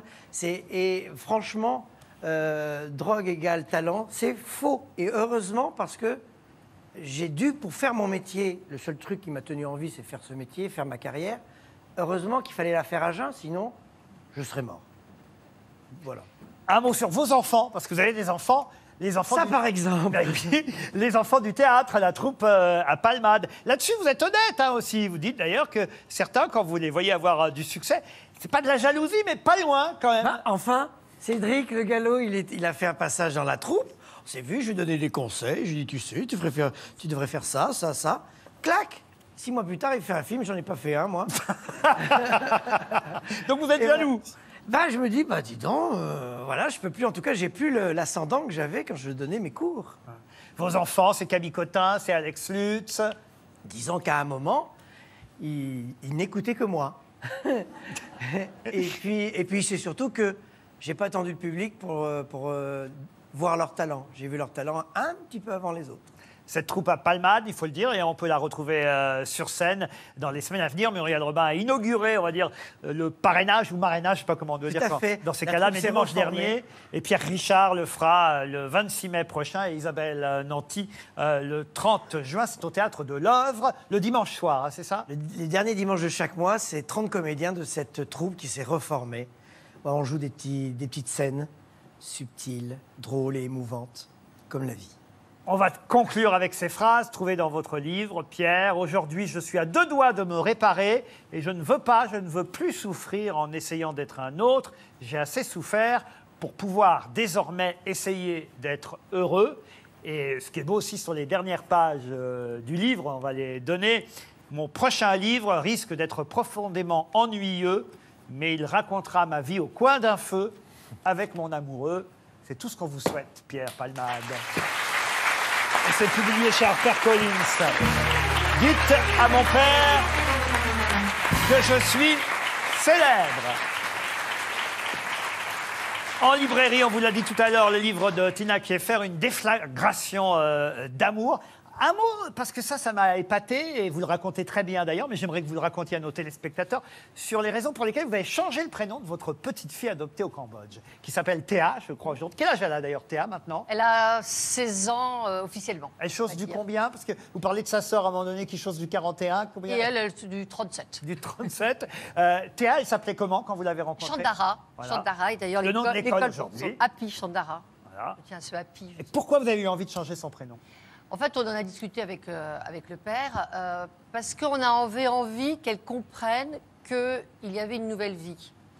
Et euh, finalement, on s'est rendu compte que de toute façon, elle ne connaissait pas son prénom. De même que lorsque j'étais la rechercher, elle avait quand même euh, trois ans, trois ans et demi, elle ne parlait pas non plus le cambodgien. Mais elle était quand même très bavarde.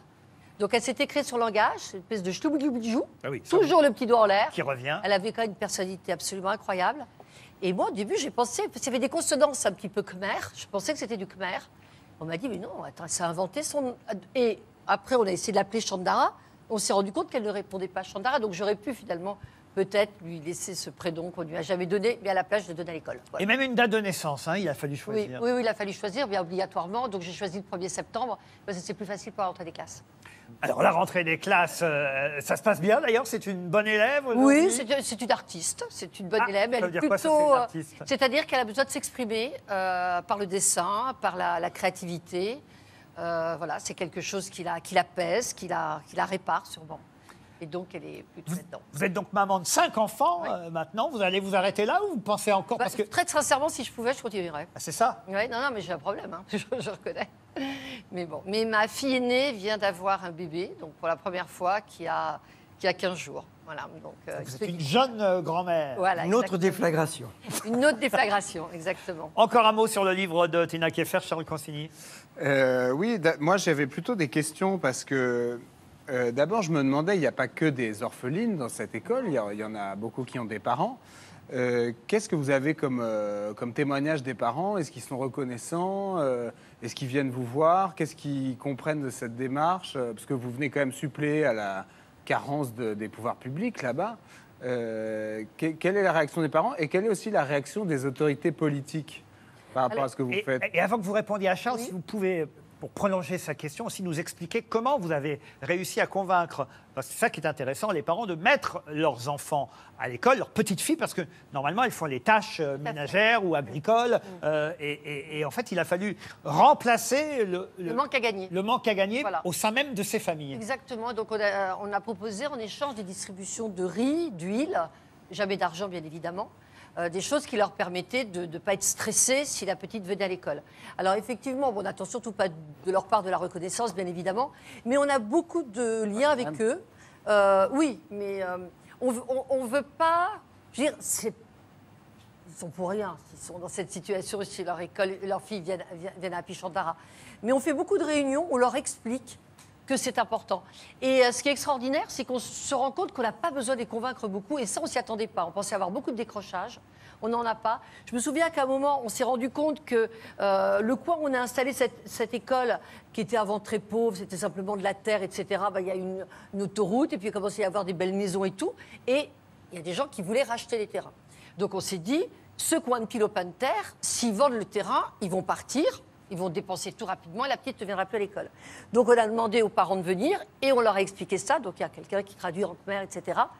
Et ce qui est extraordinaire, c'est qu'on était en train d'expliquer ça, ils se sont mis à applaudir.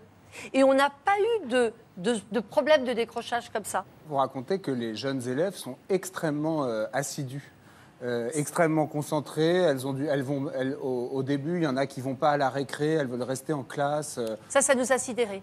Très franchement, ça nous a sidérés. Je crois que c'est parce que, en fait, elles aussi, elles ont compris. Alors, est-ce qu'elles ont compris parce que leurs parents leur répètent?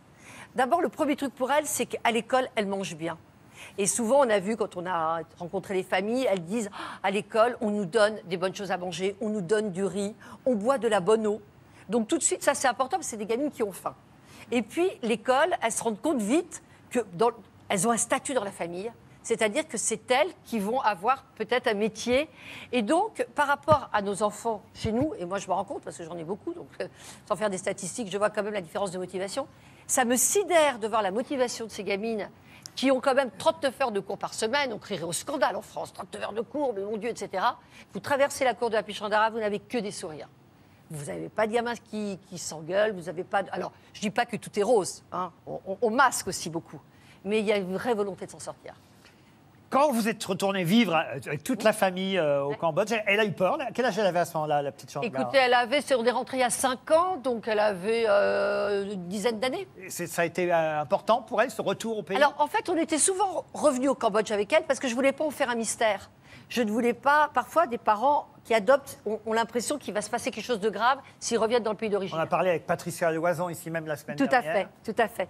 Et c'est terrible parce que le fantasme, ça, peut être très toxique, ça peut nourrir des choses, ça peut ren- rendre vraiment malheureux.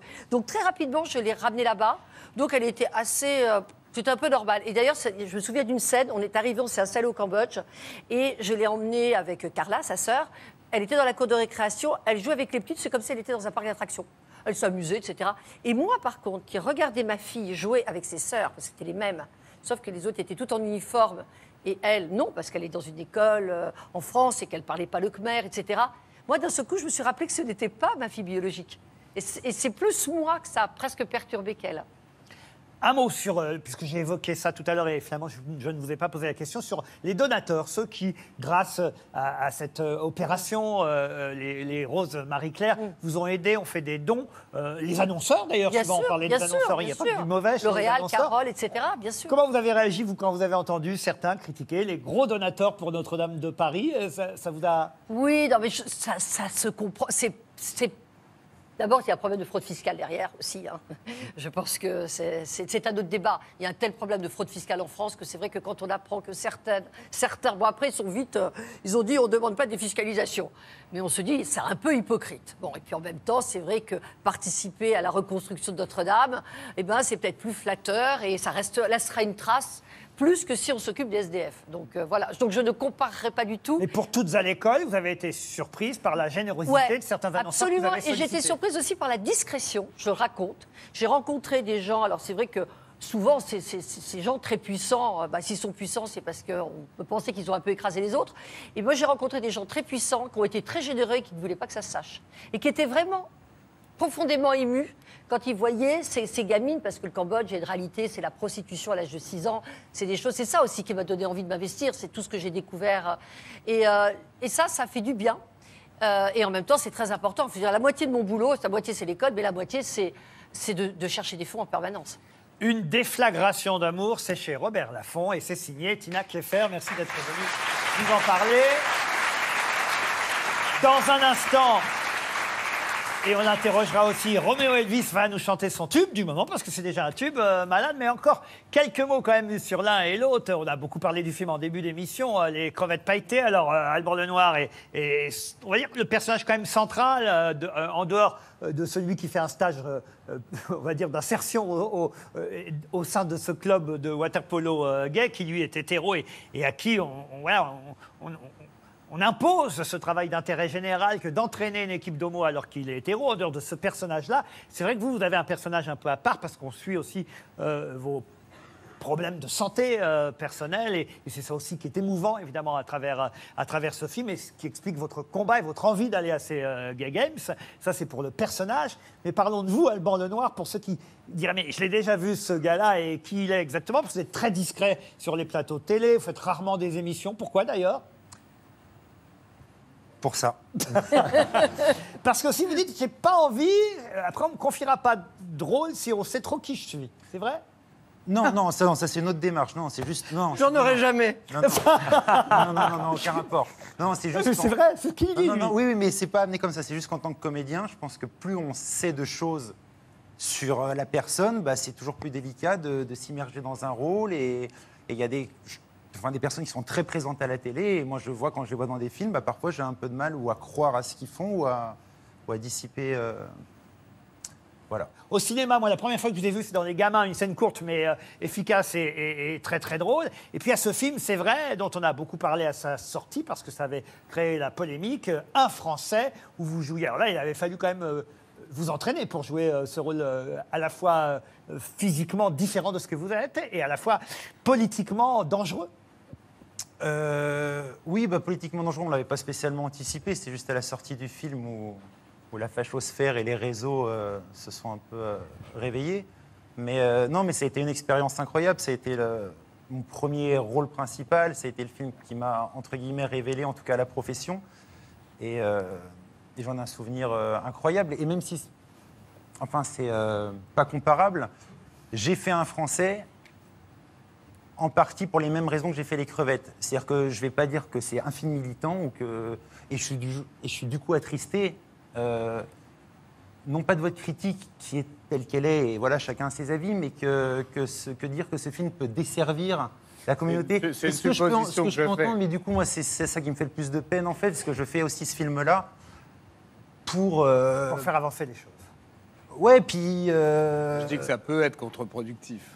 J'en oui, sais rien, oui, peut-être pas. Ce, hein, ce mais... que je peux entendre, mais justement, c'est ce qui, c'est ce qui, enfin, je vais pas dire que ça me brise le cœur, mais j'ai fait tellement ce film pour pour l'opposer de tout ça. Dire que c'est cliché, c'est déjà cliché. Je sais plus qui disait ça, mais je trouve qu'on en est à un stade, à une époque où voilà, stop, quoi. Chacun fait ce qu'il a envie de faire, qu'on n'est pas obligé de juger, qu'on n'est pas obligé de dire, qu'on n'est pas obligé de dire regarde. Et euh, C'est une forme d'intolérance aussi de ne pas, euh, de pas vouloir faire exister ces personnages qui sont C'est ce que montre le excentriques. film. Euh, et c'est ce que montre le film. Et déjà, il y a neuf personnages, donc ils ne sont pas tous des folles excentriques. Il y en a un il, y a, ou deux. il y a le mec rangé euh, et son mari l'attend à la maison et, et il sait même pas d'ailleurs qu'il est parti au guéguet. bah, il y a beaucoup de problèmes d'hétéros hein, dans le film. hein. Au C'est ça du- en fait. du compte. C'est ça qui est amusant. Voilà, donc, il y a toute une galerie de personnages. Et puis aujourd'hui, c'est vrai qu'on on fait cette une de l'équipe, euh, qui n'est pas un magazine gay. Euh, et euh, et c'est très émouvant. Et, et toute l'équipe de Waterpolo, la vraie, est, est très fière de cette une, est très émue. C'est une une historique. Et rien que si ça a pu servir à, euh, à l'équipe de faire cette une, leur donner envie de parler de sport et d'homophobie, euh, et ben rien que ça, euh, je crois que. Je la comprends, mais par exemple, je préfère un sportif euh, homosexuel aux Jeux Olympiques officiels que les Gay Games. Vous voyez ce que je veux dire? les Je comprends que ça existe, etc. Vous avez déjà le Gay Games? Non, non, je, pas encore. Non, mais il faut. C'est-à-dire qu'à un moment- moment le donné. film ne me donne pas une envie dingue. Bah, non, mais bien, vous comprenez donné, ce que je il veux dire faut le vivre. C'est-à-dire que quand nous, on, donc hétéro, ou pas, on s'en tape, on vit ce moment-là. C'est-à-dire qu'on a tourné des- vraiment dans la des- scène, Des euh, délégations, mais du genre les États-Unis, qui doivent être scindés par des États tellement ils sont nombreux, et que tu as un Égyptien qui vient tout seul avec son drapeau. Ouais, je Ah, comprends. ouais, non, mais il y a peut-être faut- besoin faut de être ça. là, il Mais il y a faut- pas- je conteste C'est pas. pas anodin. Je pensais comme vous, hein, moi aussi, il y a quelques années, je me disais, mais est-ce que c'est pas voilà, euh, trop communautariste l'idée de faire effectivement des Jeux Olympiques uniquement pour les homos? Mais en fait, Mais non, parce but, que c'est assez c'est libérateur, Le but, c'est évidemment c'est d'appeler à la tolérance. Ça, il a fallu quelques années pour que je le comprenne. Donc, euh, encore quelques années, vous verrez, on sera d'accord, euh, Charles Consigny. Mais euh, mais il faut quand même d'abord dire que c'est une comédie. hein. Mais absolument, bien C'est sûr. d'abord un film fait pour faire rire, et ça, c'est réussi. Et puis pour émouvoir, et ça, c'est aussi très réussi. C'est important parce que ces deux sentiments-là, j'en suis sûr, vous les aurez en allant au cinéma euh, mercredi prochain. Je reviens euh, un instant sur votre parcours, Alban Lenoir, parce que vous vouliez vraiment être acteur. Vous racontez même que quand vous étiez figurant, il y a certains films où on vous voit alors que c'est pas prévu qu'on vous voit dans certaines scènes. Ah oui, oui, euh, oui, oui, oui.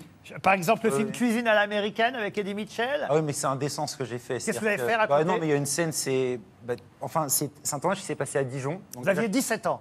Euh, ouh, j'avais 15 Ah bah, c'est ce qui est écrit là. En j'avais- 98, comédie avec Eddie Mitchell. Ah bah alors c'est ça, j'avais 17 ans. Alors, oui, tout à fait, parce que je travaillais dans un vidéoclub et il y avait ce tournage qui était à Dijon et j'ai appris ça et sur le coup j'ai j'ai fermé le vidéoclub, je suis allé sur ce tournage-là, je me suis fait passer pour le neveu d'Eddie Mitchell et j'ai fait 8 jours de figure et il y a une scène où j'ai appris ce qu'étaient les raccords. Bah, j'ai tué tous les raccords de la scène parce qu'on me voit dans chaque axe. J'ai réussi à faire. Il est émouvant, il peut être drôle aussi sur scène. Moi, je vous avais vu, c'est la première fois que je vous ai vu sur scène avec Amanda Lear dans Lady Oscar. Euh, vous aviez un rôle absolument incroyable. Et, alors, il y avait Sébastien Castro, encore la troupe à Palmade, qui était évidemment très très drôle dans cette pièce. Mais vous aussi, euh, vous étiez euh, étonnant. Ça, c'est la version avec Cyril Elda, mais je parle de la première euh, version. En tout cas, voilà, allez voir Les Crevettes Pailletées. C'est l'occasion de découvrir toute l'équipe de comédiens. Je les ai cités euh, en début de l'émission, mais c'est vrai qu'ils sont neuf, ils sont très nombreux. Vous avez pris beaucoup de comédiens inconnus, au fond, hein, quand même. En tout cas, pas très connus. Bah, C'était important qu'on y croit à cette bande. euh, et c'est vrai que des comédiens suridentifiés, trop célèbres, euh, peut-être qu'on n'y aurait pas forcément cru, ou s'il y en a deux, trois célèbres et puis pas les autres, ça crée un déséquilibre. Et là, c'est vrai que ça fait deux mois qu'on fait euh, une tournée d'avant-première à travers la France, et les gens, on a des, voilà, on reçoit énormément d'amour avec ce film, et les gens sont très contents de voir des nouvelles têtes. Ils me disent, ouais, ça fait du bien, on les connaissait pas, c'est frais, c'est chouette. Donc moi, moi c'était une envie de spectateur avant tout, et, euh, et je vois que je suis pas le seul spectateur à avoir en- envie de ça. Mercredi prochain, les crevettes pailletées, merci d'être venu dans On n'est pas couché. Vous allez rejoindre votre camarade pianiste, Roméo Elvis, pour interpréter dans cette émission avec Lennart Wink. J'espère que je n'écorche pas le nom de votre pianiste, Lennart Wink au piano. Vous allez nous interpréter cette chanson dont vous voyez peut-être déjà le clip sur les chaînes euh, musicales. Euh, ça passe énormément et c'est mérité parce que c'est un des succès euh, du moment. Euh, ça s'appelle Malade une des nouvelles chansons. Elles sont 19. Enfin, il y a 19 titres sur ce, cet album. Je le montre en vinyle. Il existe évidemment en téléchargement ou en CD comme d'habitude, mais maintenant on fait un vinyle pour tous les albums. Malade, extrait de Chocolat. Vous pouvez applaudir encore Roméo Elvis.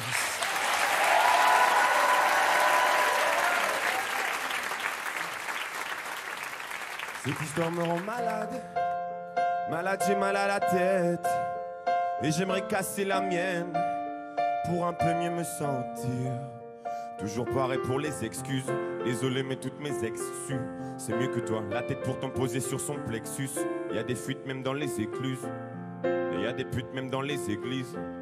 Moi j'étais pas vraiment un mec lisse. Plusieurs fois j'ai considéré ça comme un versus. Alors qu'il fallait un mec peace. Cette histoire me rend malade.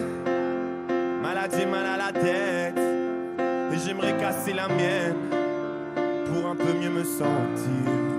Cette histoire me rend malade. Malade, j'ai mal à la tête.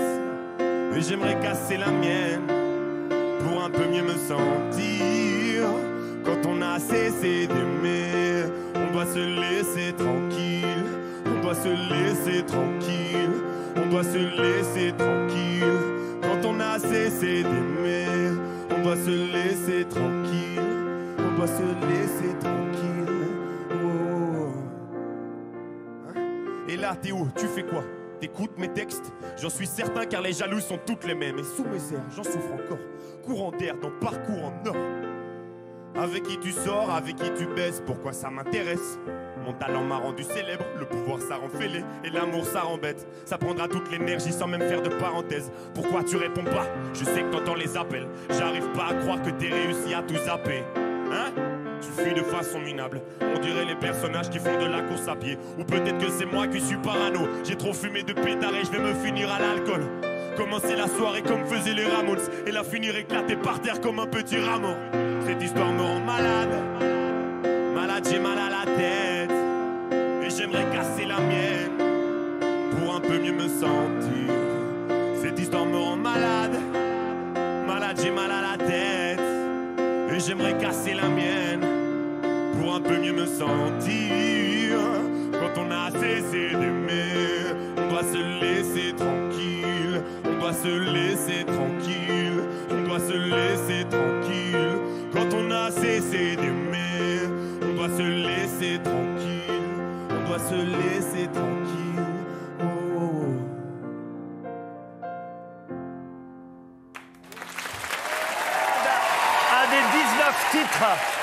Du premier album solo de Roméo Elvis, accompagné au piano par Lennart Rimke.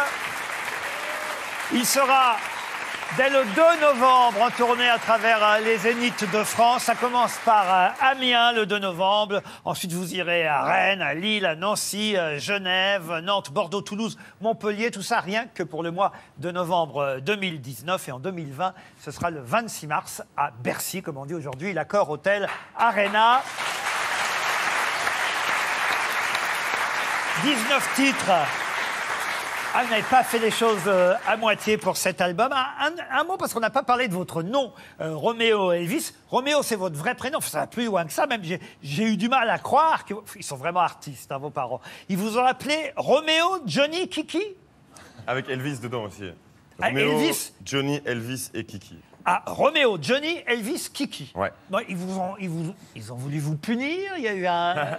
c'est quoi l'idée au départ Ouais, ils se sont- moi, je me suis fait un kiff sur l'album. Ils se sont fait un kiff sur leur premier album, on peut dire aussi. hein. Moi, j'étais le- un peu le- l'enfant premier album et ils ont mis des prénoms un peu au bordel. Et Angèle, ils l'ont appelé Aimé et Joséphine, donc ça n'a rien à voir. Enfin, Aimé Joséphine, c'est autre chose que Roméo, Johnny, Kiki. Ouais, ouais, c'est vrai. Quand même. Surtout pourquoi Kiki? Alors, Kiki, parce que à l'époque où mes parents disaient à tout le monde. truc qui interpelle. Oui, donc clairement. Et moi-même encore aujourd'hui. hein, mais en fait, à l'époque où mes parents, euh, où mes parents allaient me mettre au monde, ils disaient à tout le monde, on va l'appeler Roméo. Et, il- et tout le monde leur disait, ah bon, Roméo, vous êtes sûr? C'est un peu un prénom euh, ennuyeux pour lui, c'est risqué. Il y a beaucoup de Juliettes. Aujourd'hui, dans les années euh, 90, Juliette était très à la mode comme prénom chez les petites filles. Et donc, ils en avaient marre de se faire tout le temps reprendre. Et à la fin, ils, ont dit à- ils disaient à tout le monde, Bon, en fait, on va l'appeler Kiki. Et là, personne n'osait rien leur dire, quoi. C'est vrai, hein. Vous avez quel âge? 26 ans, c'est ça aujourd'hui? C'est ça. Euh, 26 ans, euh, Roméo Elvis ou Johnny Kiki, comme vous voulez. Euh, c'est le rap toujours que vous avez voulu faire? C'est Vous êtes rappeur depuis toujours ou est-ce que c'est venu euh, plus tardivement? C'est votre génération de toute façon. Le rap, c'est c'est probablement par rapport aux personnes que j'ai fréquentées, les gens qui m'ont influencé, euh, et le fait que ça soit un art euh, de la parole. Mais c'était l'envie d'être sur scène qui était là depuis toujours, en tout cas, ça c'est sûr. Depuis que, j'étais- depuis que je suis petit, j'avais envie de, de faire du spectacle. Quoi. vous écrivez vos textes et évidemment, vous avez le sens de la punchline, comme on dit. On a entendu tout à l'heure une de perdue, une de perdue. Moi, j'aime beaucoup, euh, euh, beaucoup ça. Il y a d'ailleurs la, la dernière chanson aussi qui s'appelle euh, Perdue. Mais je n'ai pas donné la parole à mes euh, camarades, Christine Angot et Charles Consigny. Ils n'ont encore rien dit sur vous. Alors, on va terminer par ça. Christine, d'abord. Oui, tout à l'heure, euh, quand Laurent vous pose la question là, sur vous vouliez faire du rap et tout ça.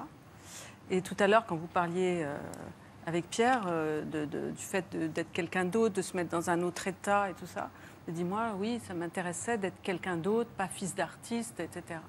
Et par ailleurs, j'ai vu que vous étiez un peu ennuyé, même si vous n'avez plus envie trop de revenir là- là-dessus, mais quand même, ça compte d'une certaine division qui peut se faire dans le rap entre euh, ceux, les, les musiciens qu'on va appeler des clients ou des Yankees, parce que voilà, les- ceux oui, qui achètent la drogue, et, et les, et Les dealers.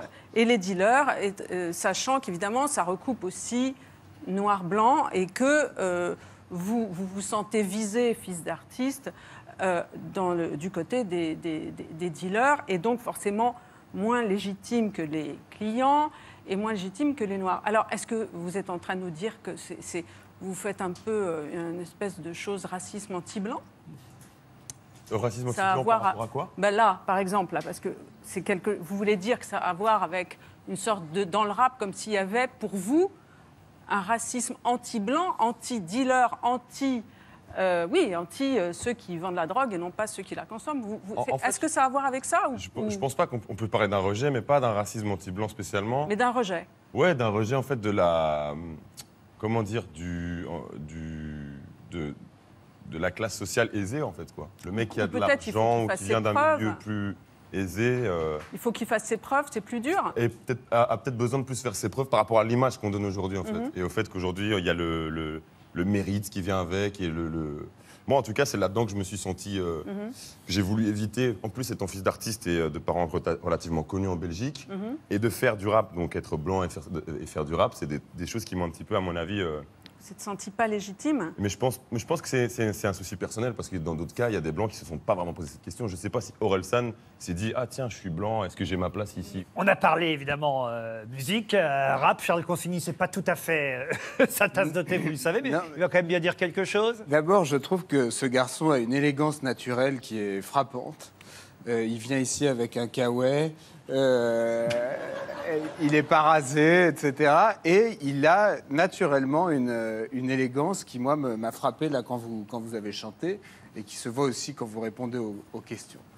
Euh, je pense que c'est assez bon signe. Après, j'ai pas compris toutes les paroles de vos chansons. Je voudrais vous interroger sur certaines, parce que Laurent a souligné votre goût de la punchline. Alors, il y a notamment dans la chanson Perdue, je mange du chocolat tout seul à la maison, le goût du malaise, ça part pas avec le persil. Ouais. Ça, c'est une punchline qui m'a laissé interdit. Et où, par exemple, dans la chanson Trois étoiles, là, je ne sais pas si c'est un dialecte belge, mais OG, Bobo, Toga, Audi, SKRT, Stop, Codéine, King. Refrain débile pour mes gogoles, j'ai pas de personnalité. Combien tu cotes l'album sur 10, c'est déjà un classique. J'ai dit OG, Bobo, Toga, Audi, 1, 2, 3. Et dans la même chanson, dans la même chanson, Hey, je ride à BX et MCT, même dégaine qu'un noir, même Zizi, je suis platinium, ça fait zizir. J'en ai besoin de plus pour m'exciter. Alors, la première, La tête de Consigny.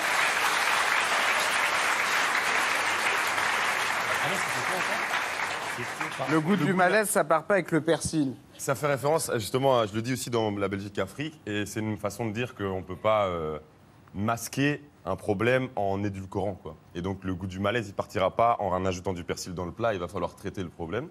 Alors, pour ce qui est de Oji, Bobo, Droga, Audi, tout ça, c'est assez long.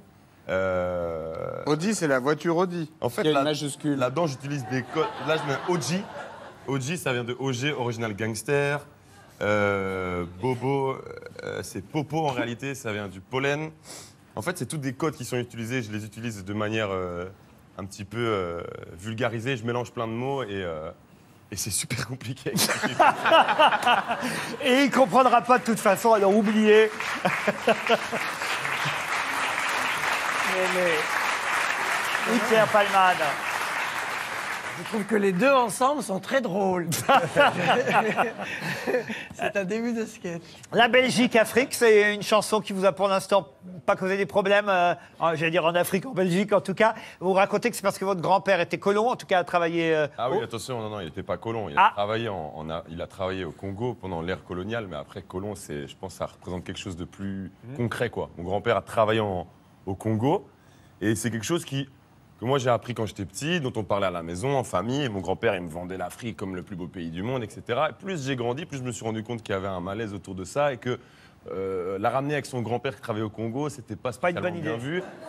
Mais en fait, le, le problème en Belgique, il est dû au fait qu'il y a un consensus énorme autour de ça et qu'il ne devrait pas y avoir de problème à dire mon grand-père, il a travaillé au Congo. Le problème, il vient du fait qu'en Belgique, on ne traite pas de des colonies, on ne dit pas, OK, la Belgique a été au Congo, la Belgique a fait ça au Congo, euh, le roi des Belges a fait ceci, a fait cela. On ne revient pas là-dessus et il y a un consensus, il n'y a jamais eu d'excuses, on va dire, publiques de la part du gouvernement, de la part de la royauté.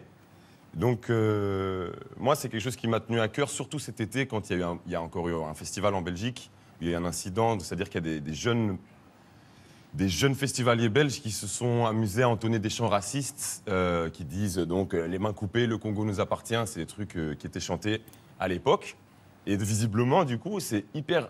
On n'en a pas assez parlé. Et aujourd'hui, on a passé l'étape où euh, on a passé le- le, On étouffe un peu tout ça. on étouffe et en même temps, il y a une sorte de légèreté de pouvoir rechanter des chants, euh, des chants comme ça. C'est complètement scandaleux, quoi. Il faut vraiment s'en rendre compte. Et du coup, moi, en tant que représentant des jeunes Belges, en plus, je suis écouté des deux côtés euh, des frontières en Belgique, en Flandre et en Wallonie. Je me suis pas senti obligé de le faire, mais légitime en tout cas via, de- via là où je venais, quoi. Et, et ça, vous vous êtes rendu compte de ça, de l'importance que vous pouviez avoir, d'être euh, un influenceur. Ouais. J'aime pas ce mot-là parce qu'on pense forcément à Instagram dans ces cas-là, mais un influenceur à travers vos chansons. quoi. Qu'il fallait faire attention à ce que vous chantiez, racontiez ou disiez. En tout cas, c'est euh, le, c'est ce qui se résume dans cet album, je pense. Dans les autres, je me suis, j'avais envie de croquer dans une pomme. euh, j'avais envie de, de- de faire partie du jeu, de, de- de me faire plaisir, de faire du rap, de faire ce que j'avais envie. Et aujourd'hui, on est en 2019, j'ai 26 ans, et comme vous l'avez très bien dit, je fais tous les zéniths de France, je fais un Bercy, je fais un peu ce que je veux. Du coup, je me sens aujourd'hui vraiment responsable là où à 19 ans, j'en aurais eu rien à foutre de parler d'écologie ou des trucs comme ça, quoi. Mais aujourd'hui, j'ai l'impression d'avoir un peu d'avoir un sens, enfin d'avoir un, un, Un mini responsabil- pouvoir. un minimum de pouvoir et de pouvoir l'utiliser de, de la bonne manière, quoi. Eh bien, vous le faites bien. L'album s'appelle euh, Chocolat. C'est son premier album solo. Je vous l'ai dit à Roméo Elvis, que vous pourrez applaudir sur scène dès novembre prochain à travers la France. Merci à vous. Merci encore à Tina Keffer qui publiait Une déflagration d'amour de chez Robert Laffont. Pierre Palmade, dites à mon père que je suis célèbre. C'est chez HarperCollins. Et le film Les crevettes euh, pailletées, réalisé non seulement par Cédric Le Gallo, mais aussi par Maxime Govard. On va quand même rappeler le nom du euh, co-réalisateur. Ce film sort, on vous le conseille, mercredi prochain. Merci à toutes et à tous. Merci Christine, Charles. Je vous retrouve peut-être demain soir pour les enfants de la télé, sinon à samedi prochain. Bonne nuit sur France 2.